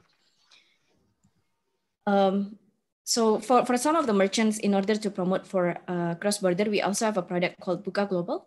So at a glance, uh, basically Buka Global uh, is focusing on helping the local sellers to reach a foreign market and bring distance between Indonesia and its diaspora closer through online platform. And uh, Bukalapak is the first Indonesian company who does uh, export cross cross border. And currently, we have a presence in Singapore, Malaysia, Hong Kong, Taiwan, and Brunei. Uh, basically, how it works is that uh, the customer in those countries can uh, access Bukalapak apps to purchase the items from Indonesia, and they can enjoy the price similar to the Indonesian buyers. And uh, they just need to pick for the recipient's country um, and also process the payments. Then the delivery logistic partner of us will pick up the items from the seller's warehouse.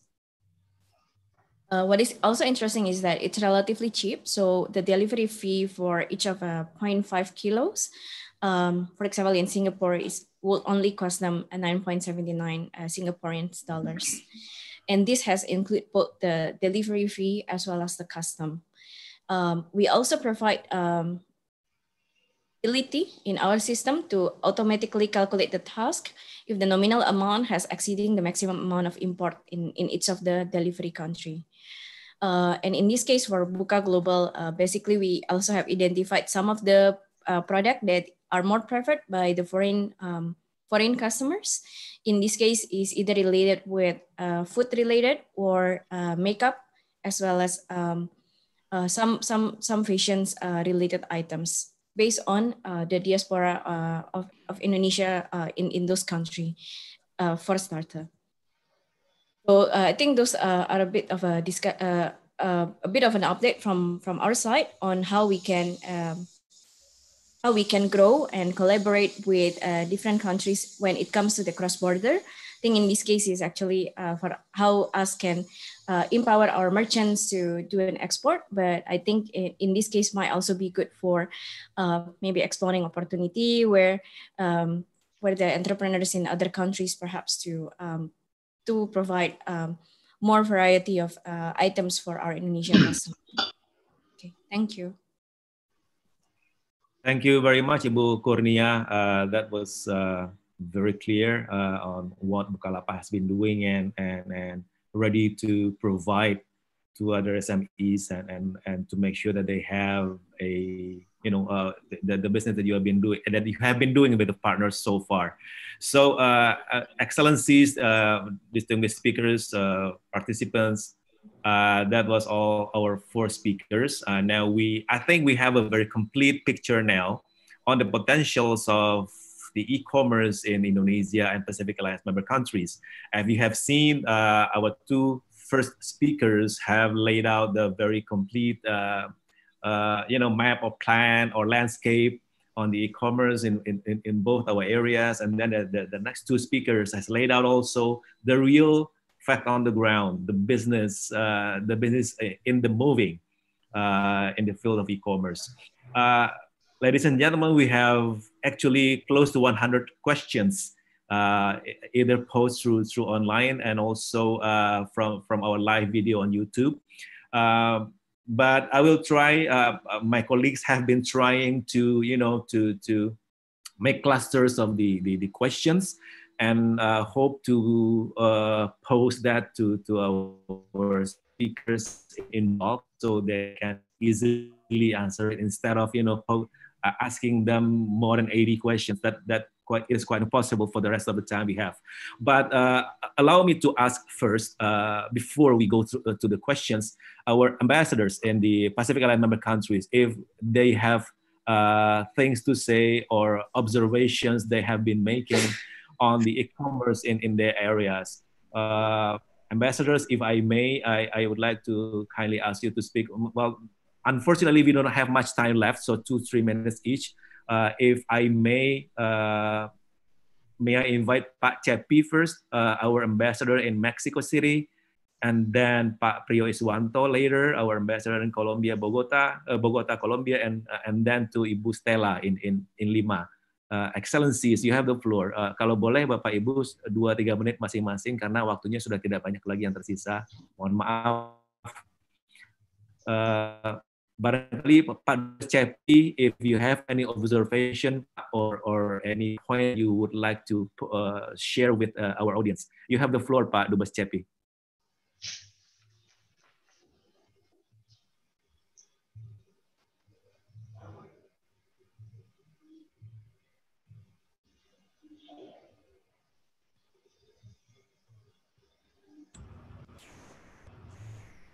Okay. Well, thank you uh, for giving me a time. Uh, good morning, Jakarta. Good uh, evening to all uh, my colleagues in uh, Pacific Alliance. Uh, well, this is a very good presentation for all of you. For us, well, so far in Mexico, there is a lot of opportunity to to have this this business, e-commerce business. last year, one of the Gojek people was in uh, contact with me to see the opportunity to come uh, for outbound investment in Mexico. And, and uh, well, uh, uh they, are still studying uh, how's the character of the people in the Pacific Alliance because this is a little bit uh, different compared to the, the, to the Asian peoples.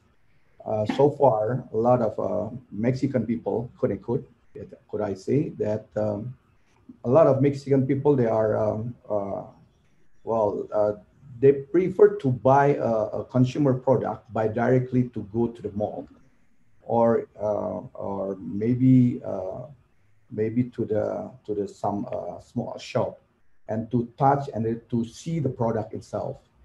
Uh, unless if they buy the the the, the, the food products if they know the, the, the restaurant, if they know the, the shop, they would like to, to, to buy the, the food. This is the character of the Mexican people that I, I knew so far. Um, well, uh, anyway, this is the good presentation to, from all of you. Um, uh, I would like to say that uh, Gojek was uh, willing to, to come to Mexico to see this opportunity because as you know, Mexico Mexico is one of the big population in uh, in this area in the Pacific Alliance. They have uh, more than 140 uh, millions population. This is the good market for them. I mean, for Gojek to come and to visit uh, Mexico. Now they are still studying. They are going to see how the opportunity is. Well, this is the, my, my, my, my, my speech, uh, uh, some remarks for me. Thank you. Thank you very much, Pak Dubes. I really appreciate it. Pak Dubes Priyo, are you there? Would you like to say something, Pak Priyo?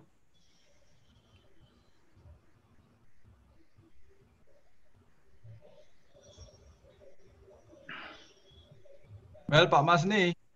Yes, Pak Dubes, you have the floor, Pak. Yeah, thanks very much for organizing uh, this uh, very uh, productive uh, uh, meeting uh, conference. And I'd like uh, firstly to congratulate all the speakers uh, for their excellent presentation. It's very inspiring actually. Uh, I'd like to observe and uh, to give information to our audience here that uh, between uh, Indonesia and Pacific Alliance or maybe regional to regional cooperation ASEAN and Pacific Alliance, let me underline that with Colombia, with Colombia, we have, uh, let's say, the smallest number of uh, trade volume uh, bilaterally. And in this uh, case, uh, the uh, online shopping and startups and unicorns are in the, let's say, growing demand and very prospective. So I think this sector, if let's say Bukalapak and uh, Gojek and uh, other unicorns, Indonesia could develop its market into, let's say, uh, Colombia and other uh, countries in Pacific Islands. Uh, so they have a good uh, prospect. But the, the point is, again, is in the interaction between the private sector. So among us in the, let's say, of, in the governmental levels, we are doing our best to facilitate the private sectors to get interact uh, each other. Of course, I understand also that the uh, let's say the uh, uh geographical distance and the lack of uh, connectivity is our imminent challenge, and we try to get closer by knowing each other better. So I'd like also to inform here that Uh, you know uh, starting tomorrow, uh, will uh, uh, the, the, the two ministers, uh, the Minister of Foreign Affairs of Indonesia and the Minister of Foreign Affairs of Colombia are scheduled to sign an agreement on visa free, and I hope that it will increase the flow of people from Colombia and also from other countries of Pacific Alliance because and the rest are already enjoying the free visa to enter Indonesia. Uh, Pak Masni, uh, if you could, like say, uh, uh make a follow-up uh, action afterwards, because the prospects are very big, the potentials are big, because uh, as Ambassador of Chile in, in Jakarta told us that the market are big because the whole the whole continents of the whole the four countries of the Pacific uh, Alliance comprise of uh, uh, more than 260 million people. So it's big market, and I hope that our uh, our colleagues uh, of, of, uh, private sectors of Indonesia and also as well as from Pacific Alliance could drum up the cooperation and I think almost every countries bilaterally facilitating or have very uh, solid uh, foundation uh, for uh, future solid cooperation in trade, uh, commerce, and, and, and investment. I could mention that Indonesia with Chile has already,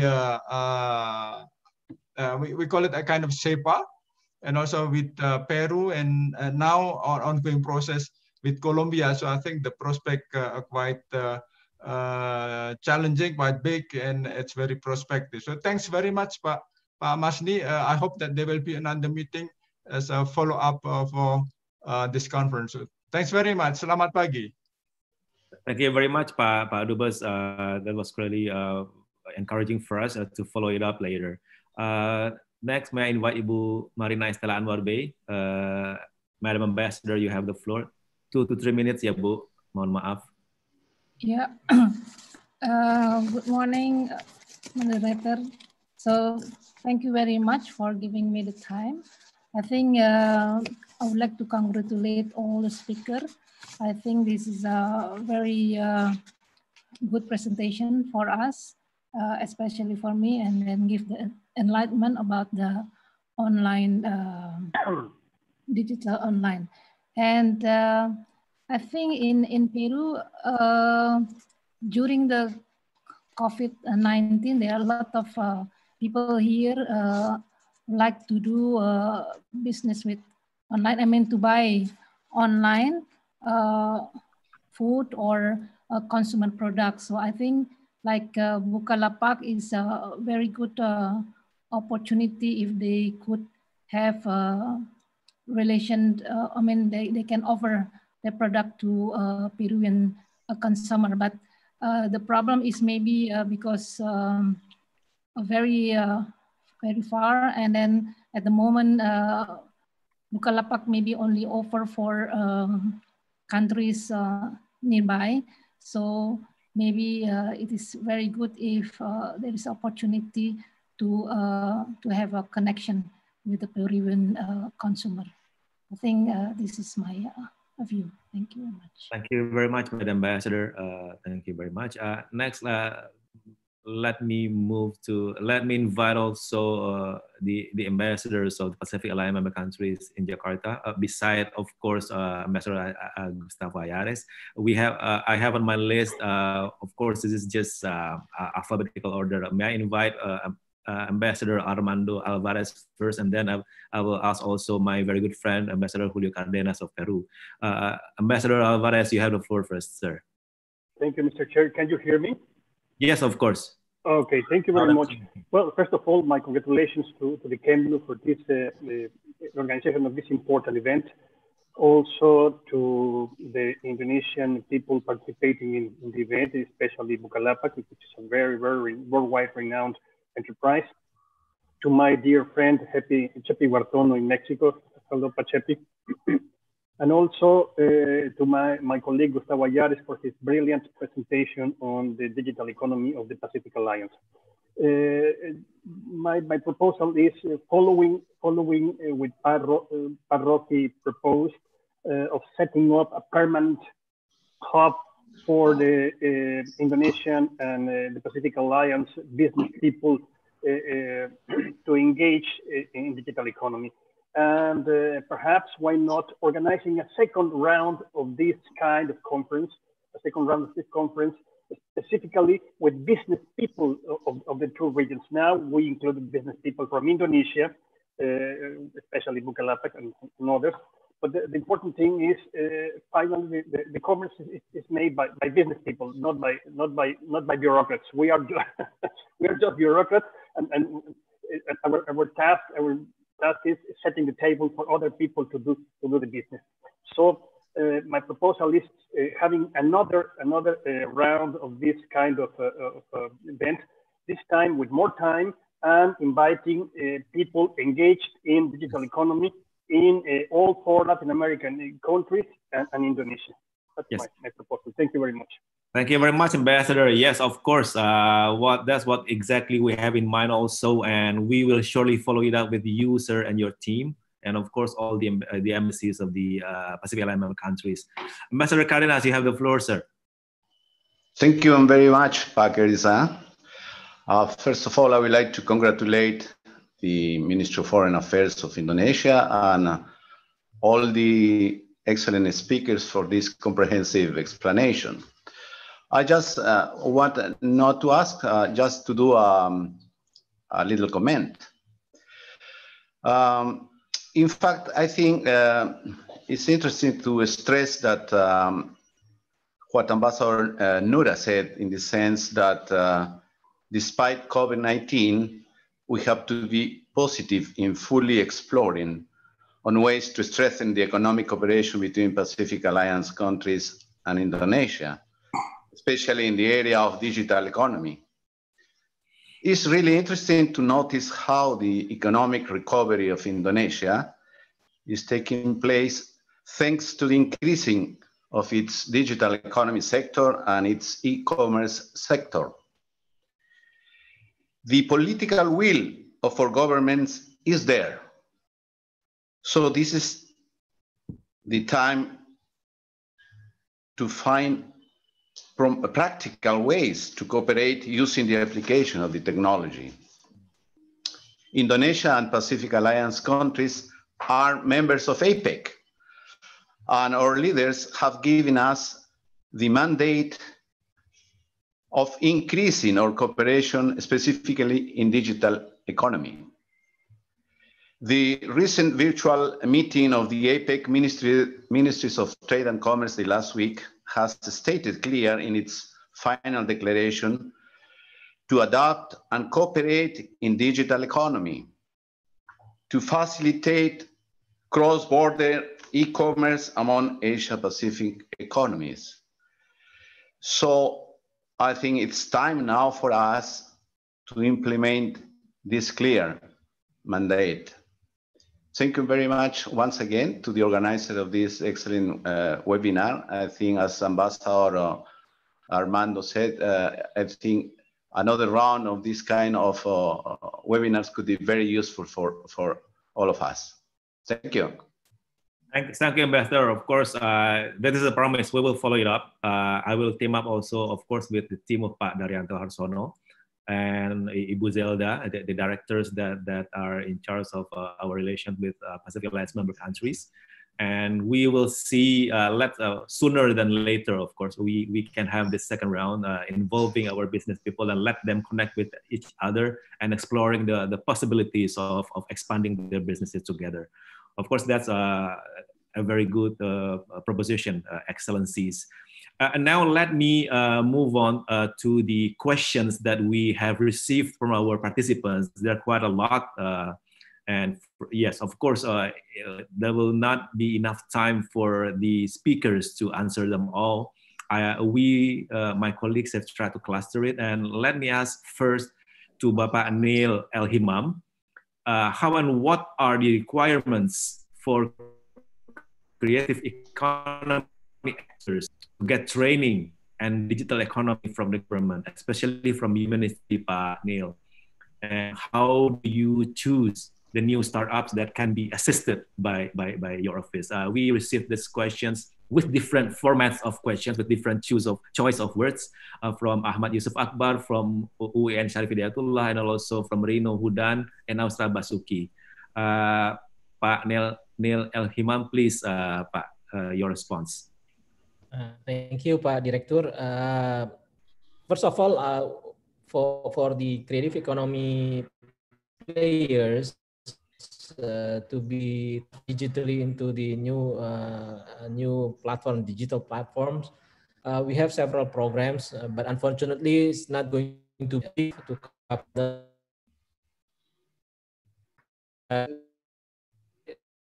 the proof of concept and we call it the Baparekraf Digital Entrepreneurship uh, 2.0. Uh, going uh, for three subsectors, which uh, fashion, uh, culinary, as well as uh, craft. Uh, the, the applicants, I think there are,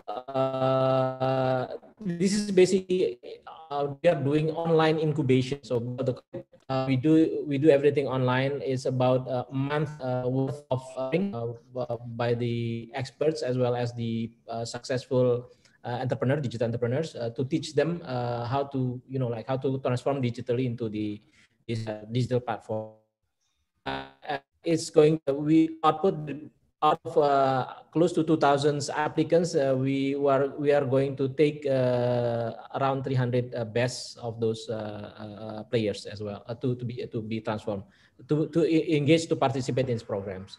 Mm. On the other hand, on the the other questions about the, how we do we, choose startups. I, I, what we are doing right now is trying to uh, come uh, to trying to fit in the new technologies and uh, our needs. For example, right now we, we are we are huge. We are we are have we have big population and uh, uh, geographically we are archipelago. And one of the thing is telemedicine is going to be for for for me. Uh, I see that telemedicine will become a huge helps uh, to our uh, health services in Indonesia to improve the quality uh, as well uh, the quality of the services for the health uh, uh services in Indonesia. So that we are trying to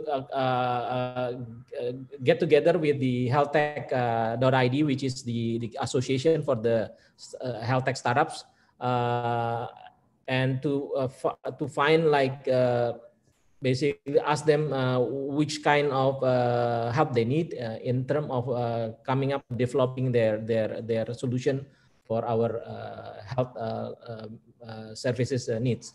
So so and the other thing is probably agriculture. Uh, what we are uh, trying to do is we are trying to find the the, the, the needs uh, i mean like to define the needs the problems and then give it to the uh, staff and try uh, ask them to find solution for those those problems so, uh, and the one that are basically come up with a good solution then we we try to provide them with support All I right. think that's that's my yes director. Thank, thank you. you thank you very much Pak uh, thank you very much. I hope that answered uh, what our participants have been asking.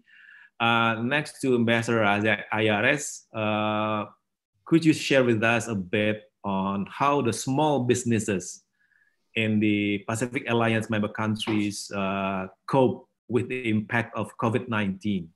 Uh, is it still business as usual? What kind of interventions do you think appropriate to mitigate the impact of uh, pandemic on the global uh, uh, supply chain. And also, uh, the next question for you, what do you think the concrete economic cooperation between Pacific Alliance and Indonesia during this pandemic situation in the context of economic recovery and digital economy?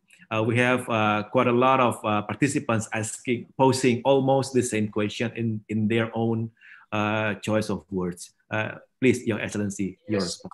No, I appreciate so much this question because actually was the idea of um, my idea to um, comment one of my predecessor statements. First, uh, the impact of the crisis in, in uh, Pacific Alliance in particular, in Latin America in general, is, uh, is, is, huge. Uh, there's no doubt all governments have been provided uh, a substantial aid, uh, financial aid for the um, for sustain the small and medium enterprises activities. Uh, we have uh, we are convinced that no matter if 2020 is, is, a year that will be very difficult, our expectation is that 2021 will be uh, we will grow in, in a substantial uh, percentage. Um, all the economies, in, in the case of Chile, we expect it to grow around five percent. Uh, we don't know yet the impact of the crisis. I would like to underline that it's still going on. So everything is still moving. So um, when we have the possibility that uh, the, the, the health uh, emergency is over or at least uh, diminished, we will see the real numbers. But until now, has been very difficult. All the governments have been applying for uh, financial aid, uh, like, for example, um, supporting the banking system that, uh, you know, for the loans that have these small and medium enterprises, giving special subsidies, um, facilitation of uh, new contacts. In the case of Chile, this is in our case, we have been very active, you know, making um, a business round of uh, consultation in Europe uh, we will have uh, at the end of this month in Asia, including Indonesia. We are preparing also with the Pacific Alliance countries a big event by digital means. So we are moving. regarding to the second question, actually, um, I have the I have a proposal. I fully agree with my colleague uh, Armando and um, and Julio um, the Colombian ambassador is actually preparing this meeting for tonight with the ministry, so that's the reason that it's not present um, in, the, in, the, seminar. But we have been uh, talking that uh, for sure we need to a second uh, seminar like this. Uh, I think we must arrive to INALAC uh, if uh, the government is pretending to make it in November with concrete results. I would like to propose that maybe we can inquire uh, uh, some uh, new webinar with the participation of the some entrepreneurial sector in Chile. The other thing is uh, regarding uh, how uh, easy or how difficult is to move or to make some um, progress within with, with, with, Indonesia regarding the the perspective. I, I, I, would like to say that, for example, in the case of Chile, we are the only Latin American country we have the CEPA with Indonesia. But unfortunately, we have not been able to fully uh, apply. Unfortunately, the crisis uh, hit us in a, in a, tremendous way. But uh, I think we need to, uh, you, Indonesia, because we already make that move, uh, we would like to see that all the ministries involved, mm. trade, agriculture, should have the same, same coordination in the sense that if we are moving to boost digital uh, commerce or digital, uh, the, the, whole concept, because it's a learning process. It's not easy because we need to split all the knowledge for all the people. But we would like to see from the uh, agriculture, especially regarding licenses, regarding in, in the case of uh, Ministry of Trade, regarding quotas, we would like to see that they have the uh, open scope and, uh, and, and, a view, open view, wide view that this is, uh, this is the time to move uh, in a different rhythm and a different perspective. Also, we would like to see the same attitude in the sense that why, uh, why not explore halal uh, concept, halal products. We have been engaged with the new agency and unfortunately there has been a certain delay. So sooner than later, we need to have all the certification, all the mutual recognition. For example, in the case of Chile, we are in a way to uh, sign this, the very first uh, MOU between the agency and the government of Chile regarding halal. But after that, we need, we need to uh, uh, agree some mutual recognition agreement. So will be not a good news if we continue to having, you know, this uh, border, uh, I mean, uh, closing border in Chile or Indonesia. So maybe we need to think that the, uh, the recognition of the activity, technical activity should be made by digital means. So we need to create different conditions. This, my proposal is that, please, as the Mexican ambassador said, we need to have a second round of this kind of way. I think it's excellent. We need to get full involvement of KADIN, for example. This is one of institutions that normally deals with things.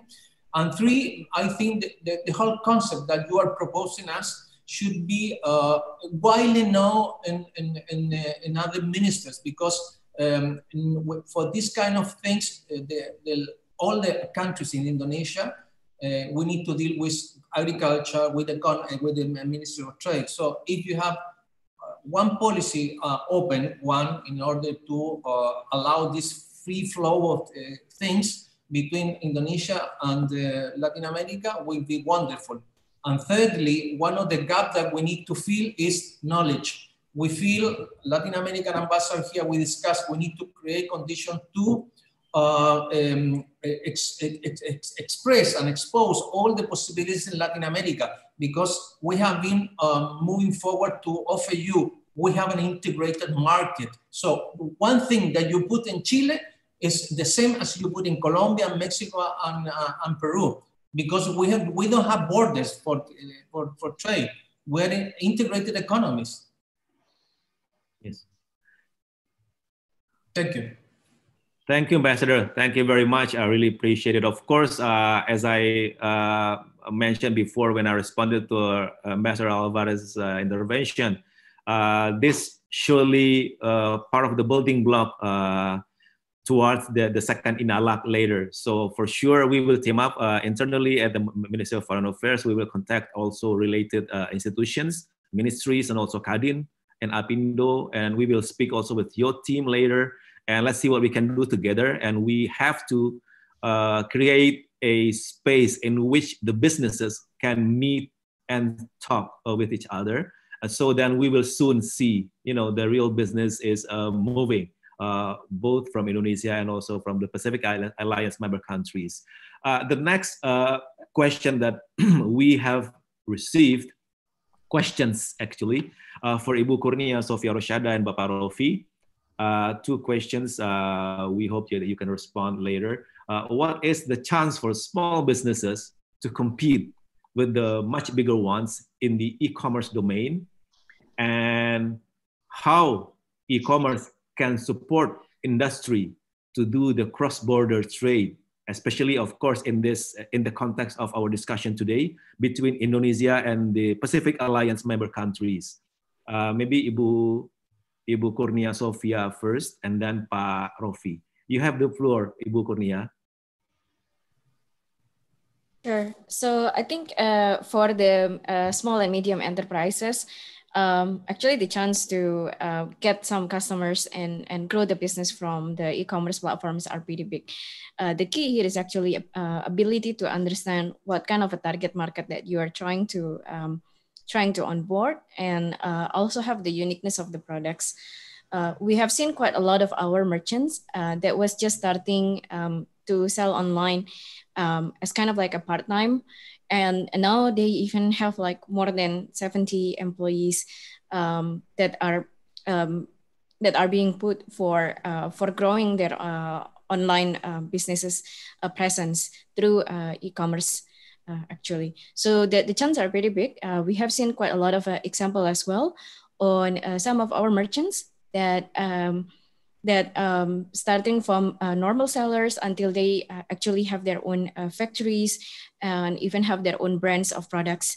So it's really about understanding of who are your target market and willingness as well to try um, and understanding how the search engine works in marketplace and what kind of promotions, paid promotions that will work, and uh, and continuously communicating um, with your uh, customers uh, so that uh, so that they understand the, the value. So so uh, in this case, uh, again, um, as our vision is actually for providing a fair economy for all, uh, for small merchants, uh, we also have uh, some campaigns dedicated for them.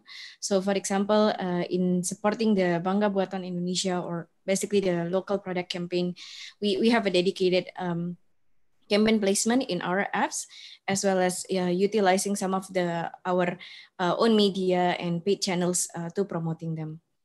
on the second point of how uh, to tap into um, a cross border, so I think a couple of a couple of um, activities that need to be done. Uh, first is to have your um, stores uh, listed, to have your product listed in, in, in the platforms, and then register for the Buka Global uh, in this case, um, and also to find out uh, about the requirements in each of the country that become your target market uh, because it's quite crucial to understand what are the requirements so for example if your product is on food there will be some uh, license on food that that needed to be uh, available or need to be uh, provided right but for um, perhaps like uh, other product category uh, the requirements might be different so it, it, first and foremost is to understand which country that you are targeting what are the license that they have, what's the customs uh, regulations as well. And uh, I think in, in this case, we, we, we can also explore for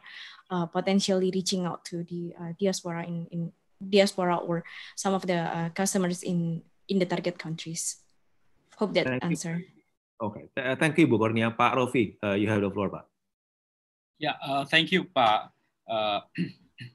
I think as small medium enterprises, uh, the key is uh, about the digital marketing. If if the SMEs can uh, actually learn and, and, and implement the digital marketing knowledge, I think that's the key for for to to tackle the the, the, the, the online commerce. I think if you have quality product, okay, that's I think the, the first uh, necessity. And then you learn about the digital marketing. I think you will have the equal opportunity as the the big brands because I think uh, it is important to learn about the digital marketing, how to target the audience, how to use the ads, and so on and so forth. Once you got that, I think you have an equal opportunity, and I think you will have the same uh, path like the other brands because brands is not easily uh, getting the cons- consumer as well in the uh, because the the online consumers is quite critical. They are are actually putting uh, attention to the reviews. And once uh, once that's been uh, tackled, I think it's very easy. I, I wouldn't say easy, but I think it's quite simple. Uh, the second uh, question is about the cross-border e-commerce. I think I have say, I have mentioned on my presentation that the, there's some kind of requirements towards the cross-border e-commerce. The first is you have to tackle the logistical challenge, how to uh, reduce the shipping costs. Uh, that's the, the, the first requirement. So I think we need to have some kind of partnership, for example, with the uh, Pacific Alliances logistic company, uh, how to create uh, the, the, the, the, the partnership warehouses, you know, to stock our products to, from Indonesia to Pacific Alliance member member countries. And as uh, as well as the product database i think that's quite important because you know uh, we need to uh, uh, uh we need to do the mapping how to uh, how to tackle the, the, the market the new market with our own product. Because if it's our product is not actually wanted by the the, the targeted market i think it doesn't work. It, it will not work. I think that's all Pak.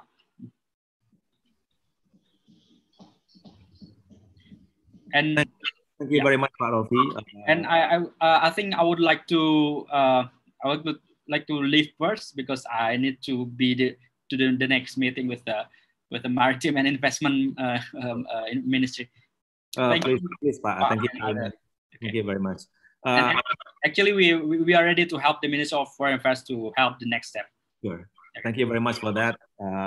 Excellencies, distinguished speakers, dear participants, that was the end of our discussion. Uh, my apologies uh, if I uh, address uh, not uh, properly address your name or position, uh, and also unfortunately we do not have enough time to address each and every questions that our distinguished participants have posed for our speakers. Unfortunately, we have only very limited time.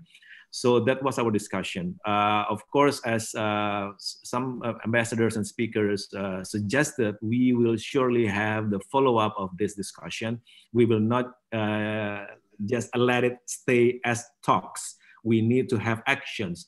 We need to have an, the next meeting that will involve the business communities and make sure that they can meet even at least for now virtually so they can have uh, you know have their own discussions and talk about what they can do uh, to uh, the economic cooperation, especially in the digital economy between Indonesia and the Pacific Alliance member countries. Also, of course, uh, other countries in Latin America. I, I also see the presence of Ambassador of Argentina uh, among the among our participants. Uh, welcome, Your Excellency. Um, yeah, but, but, that's it. Uh, basically, uh, if I will not pretend I will be able to summarize the very rich discussion that we had. Unfortunately, because the, the, the, very short time we have. But uh, I took, I tried to make uh, one or two points uh, that the, uh, from the discussions. First, of course, we uh, highlighted the on, that online sales have recently experienced a surge uh, in demand through the COVID-19 pandemic. And also highlight it, the, the pandemic also highlighted the need to bridge the digital divide, both within and across countries and given the central role of the digital economy uh, has played during the the, uh, the pandemic, especially especially for the small and medium enterprises. We also uh, more or less uh, in agreement that we again uh, has uh, have been pointed out several times to have the follow up meetings to have to help the the, the, the, the businesses to use the platform for e-commerce to alleviate uh, some of the challenges faced by the SMEs in uh, combating the impact of the pandemic uh, on both sides, uh, both in Indonesia and also the Pacific Alliance member countries and many other countries. Uh, excellencies, uh, distinguished speakers, ladies and gentlemen, that is the end of our discussion. To conclude, I sincerely hope that um, this short, well, very short actually, this short webinar uh, could provide a mutual understanding of our respective digital economy condition so that we can fully explore uh, the ideas on how to strengthen our economic cooperation and further support our SMEs in the midst, in the midst, and of course, right after the uh, COVID-19 pandemic. Once again, on behalf of the Director General of American and European Affairs, Ministry, Ministry of Foreign Affairs, I thank you I thank all the honorable speakers and distinguished participants, excellencies for making time in your busy schedule to join, to join our webinar this morning in evening, of course, uh, for our uh, dear ambassadors in, in, in, the Pacific Alliance member countries. Uh, again, my apologies, Bapak Dubes, Ibu Dubes, for making you stay up very late. But I believe that the discussion that we have, uh, no matter short, uh, would be beneficial and will help us in coordinate later on how to assist the businesses from Indonesia and also from the Pacific Alliance member countries to connect to each other and uh, expand their businesses. With the time and the technology constraint, uh, thank you for being with us today, for bearing with us today. It has been our pleasure to host uh, this event, and I wish you, uh, I wish you all a pleasant day and evening. Thank you very much. Assalamualaikum warahmatullahi wabarakatuh. Waalaikumsalam. Thank you, Excellencies, Ambassadors. Pak Dirjen, terima kasih banyak Pak Dirjen. Bapak Good Pak Masni. Yes. Terima kasih Pak Dubes. Terima kasih. Bu Dubes Stella. Ya, terima kasih. Pak Dubes Cepi. Terima kasih Pak Dubes Priyo, Bu Estela. Ya, terima kasih Pak Dirjen. Pak, Dir. Pak Dirjen. Ya. Pak Dirjen, selamat pagi. Yo. Uselda. Mejora, Estela.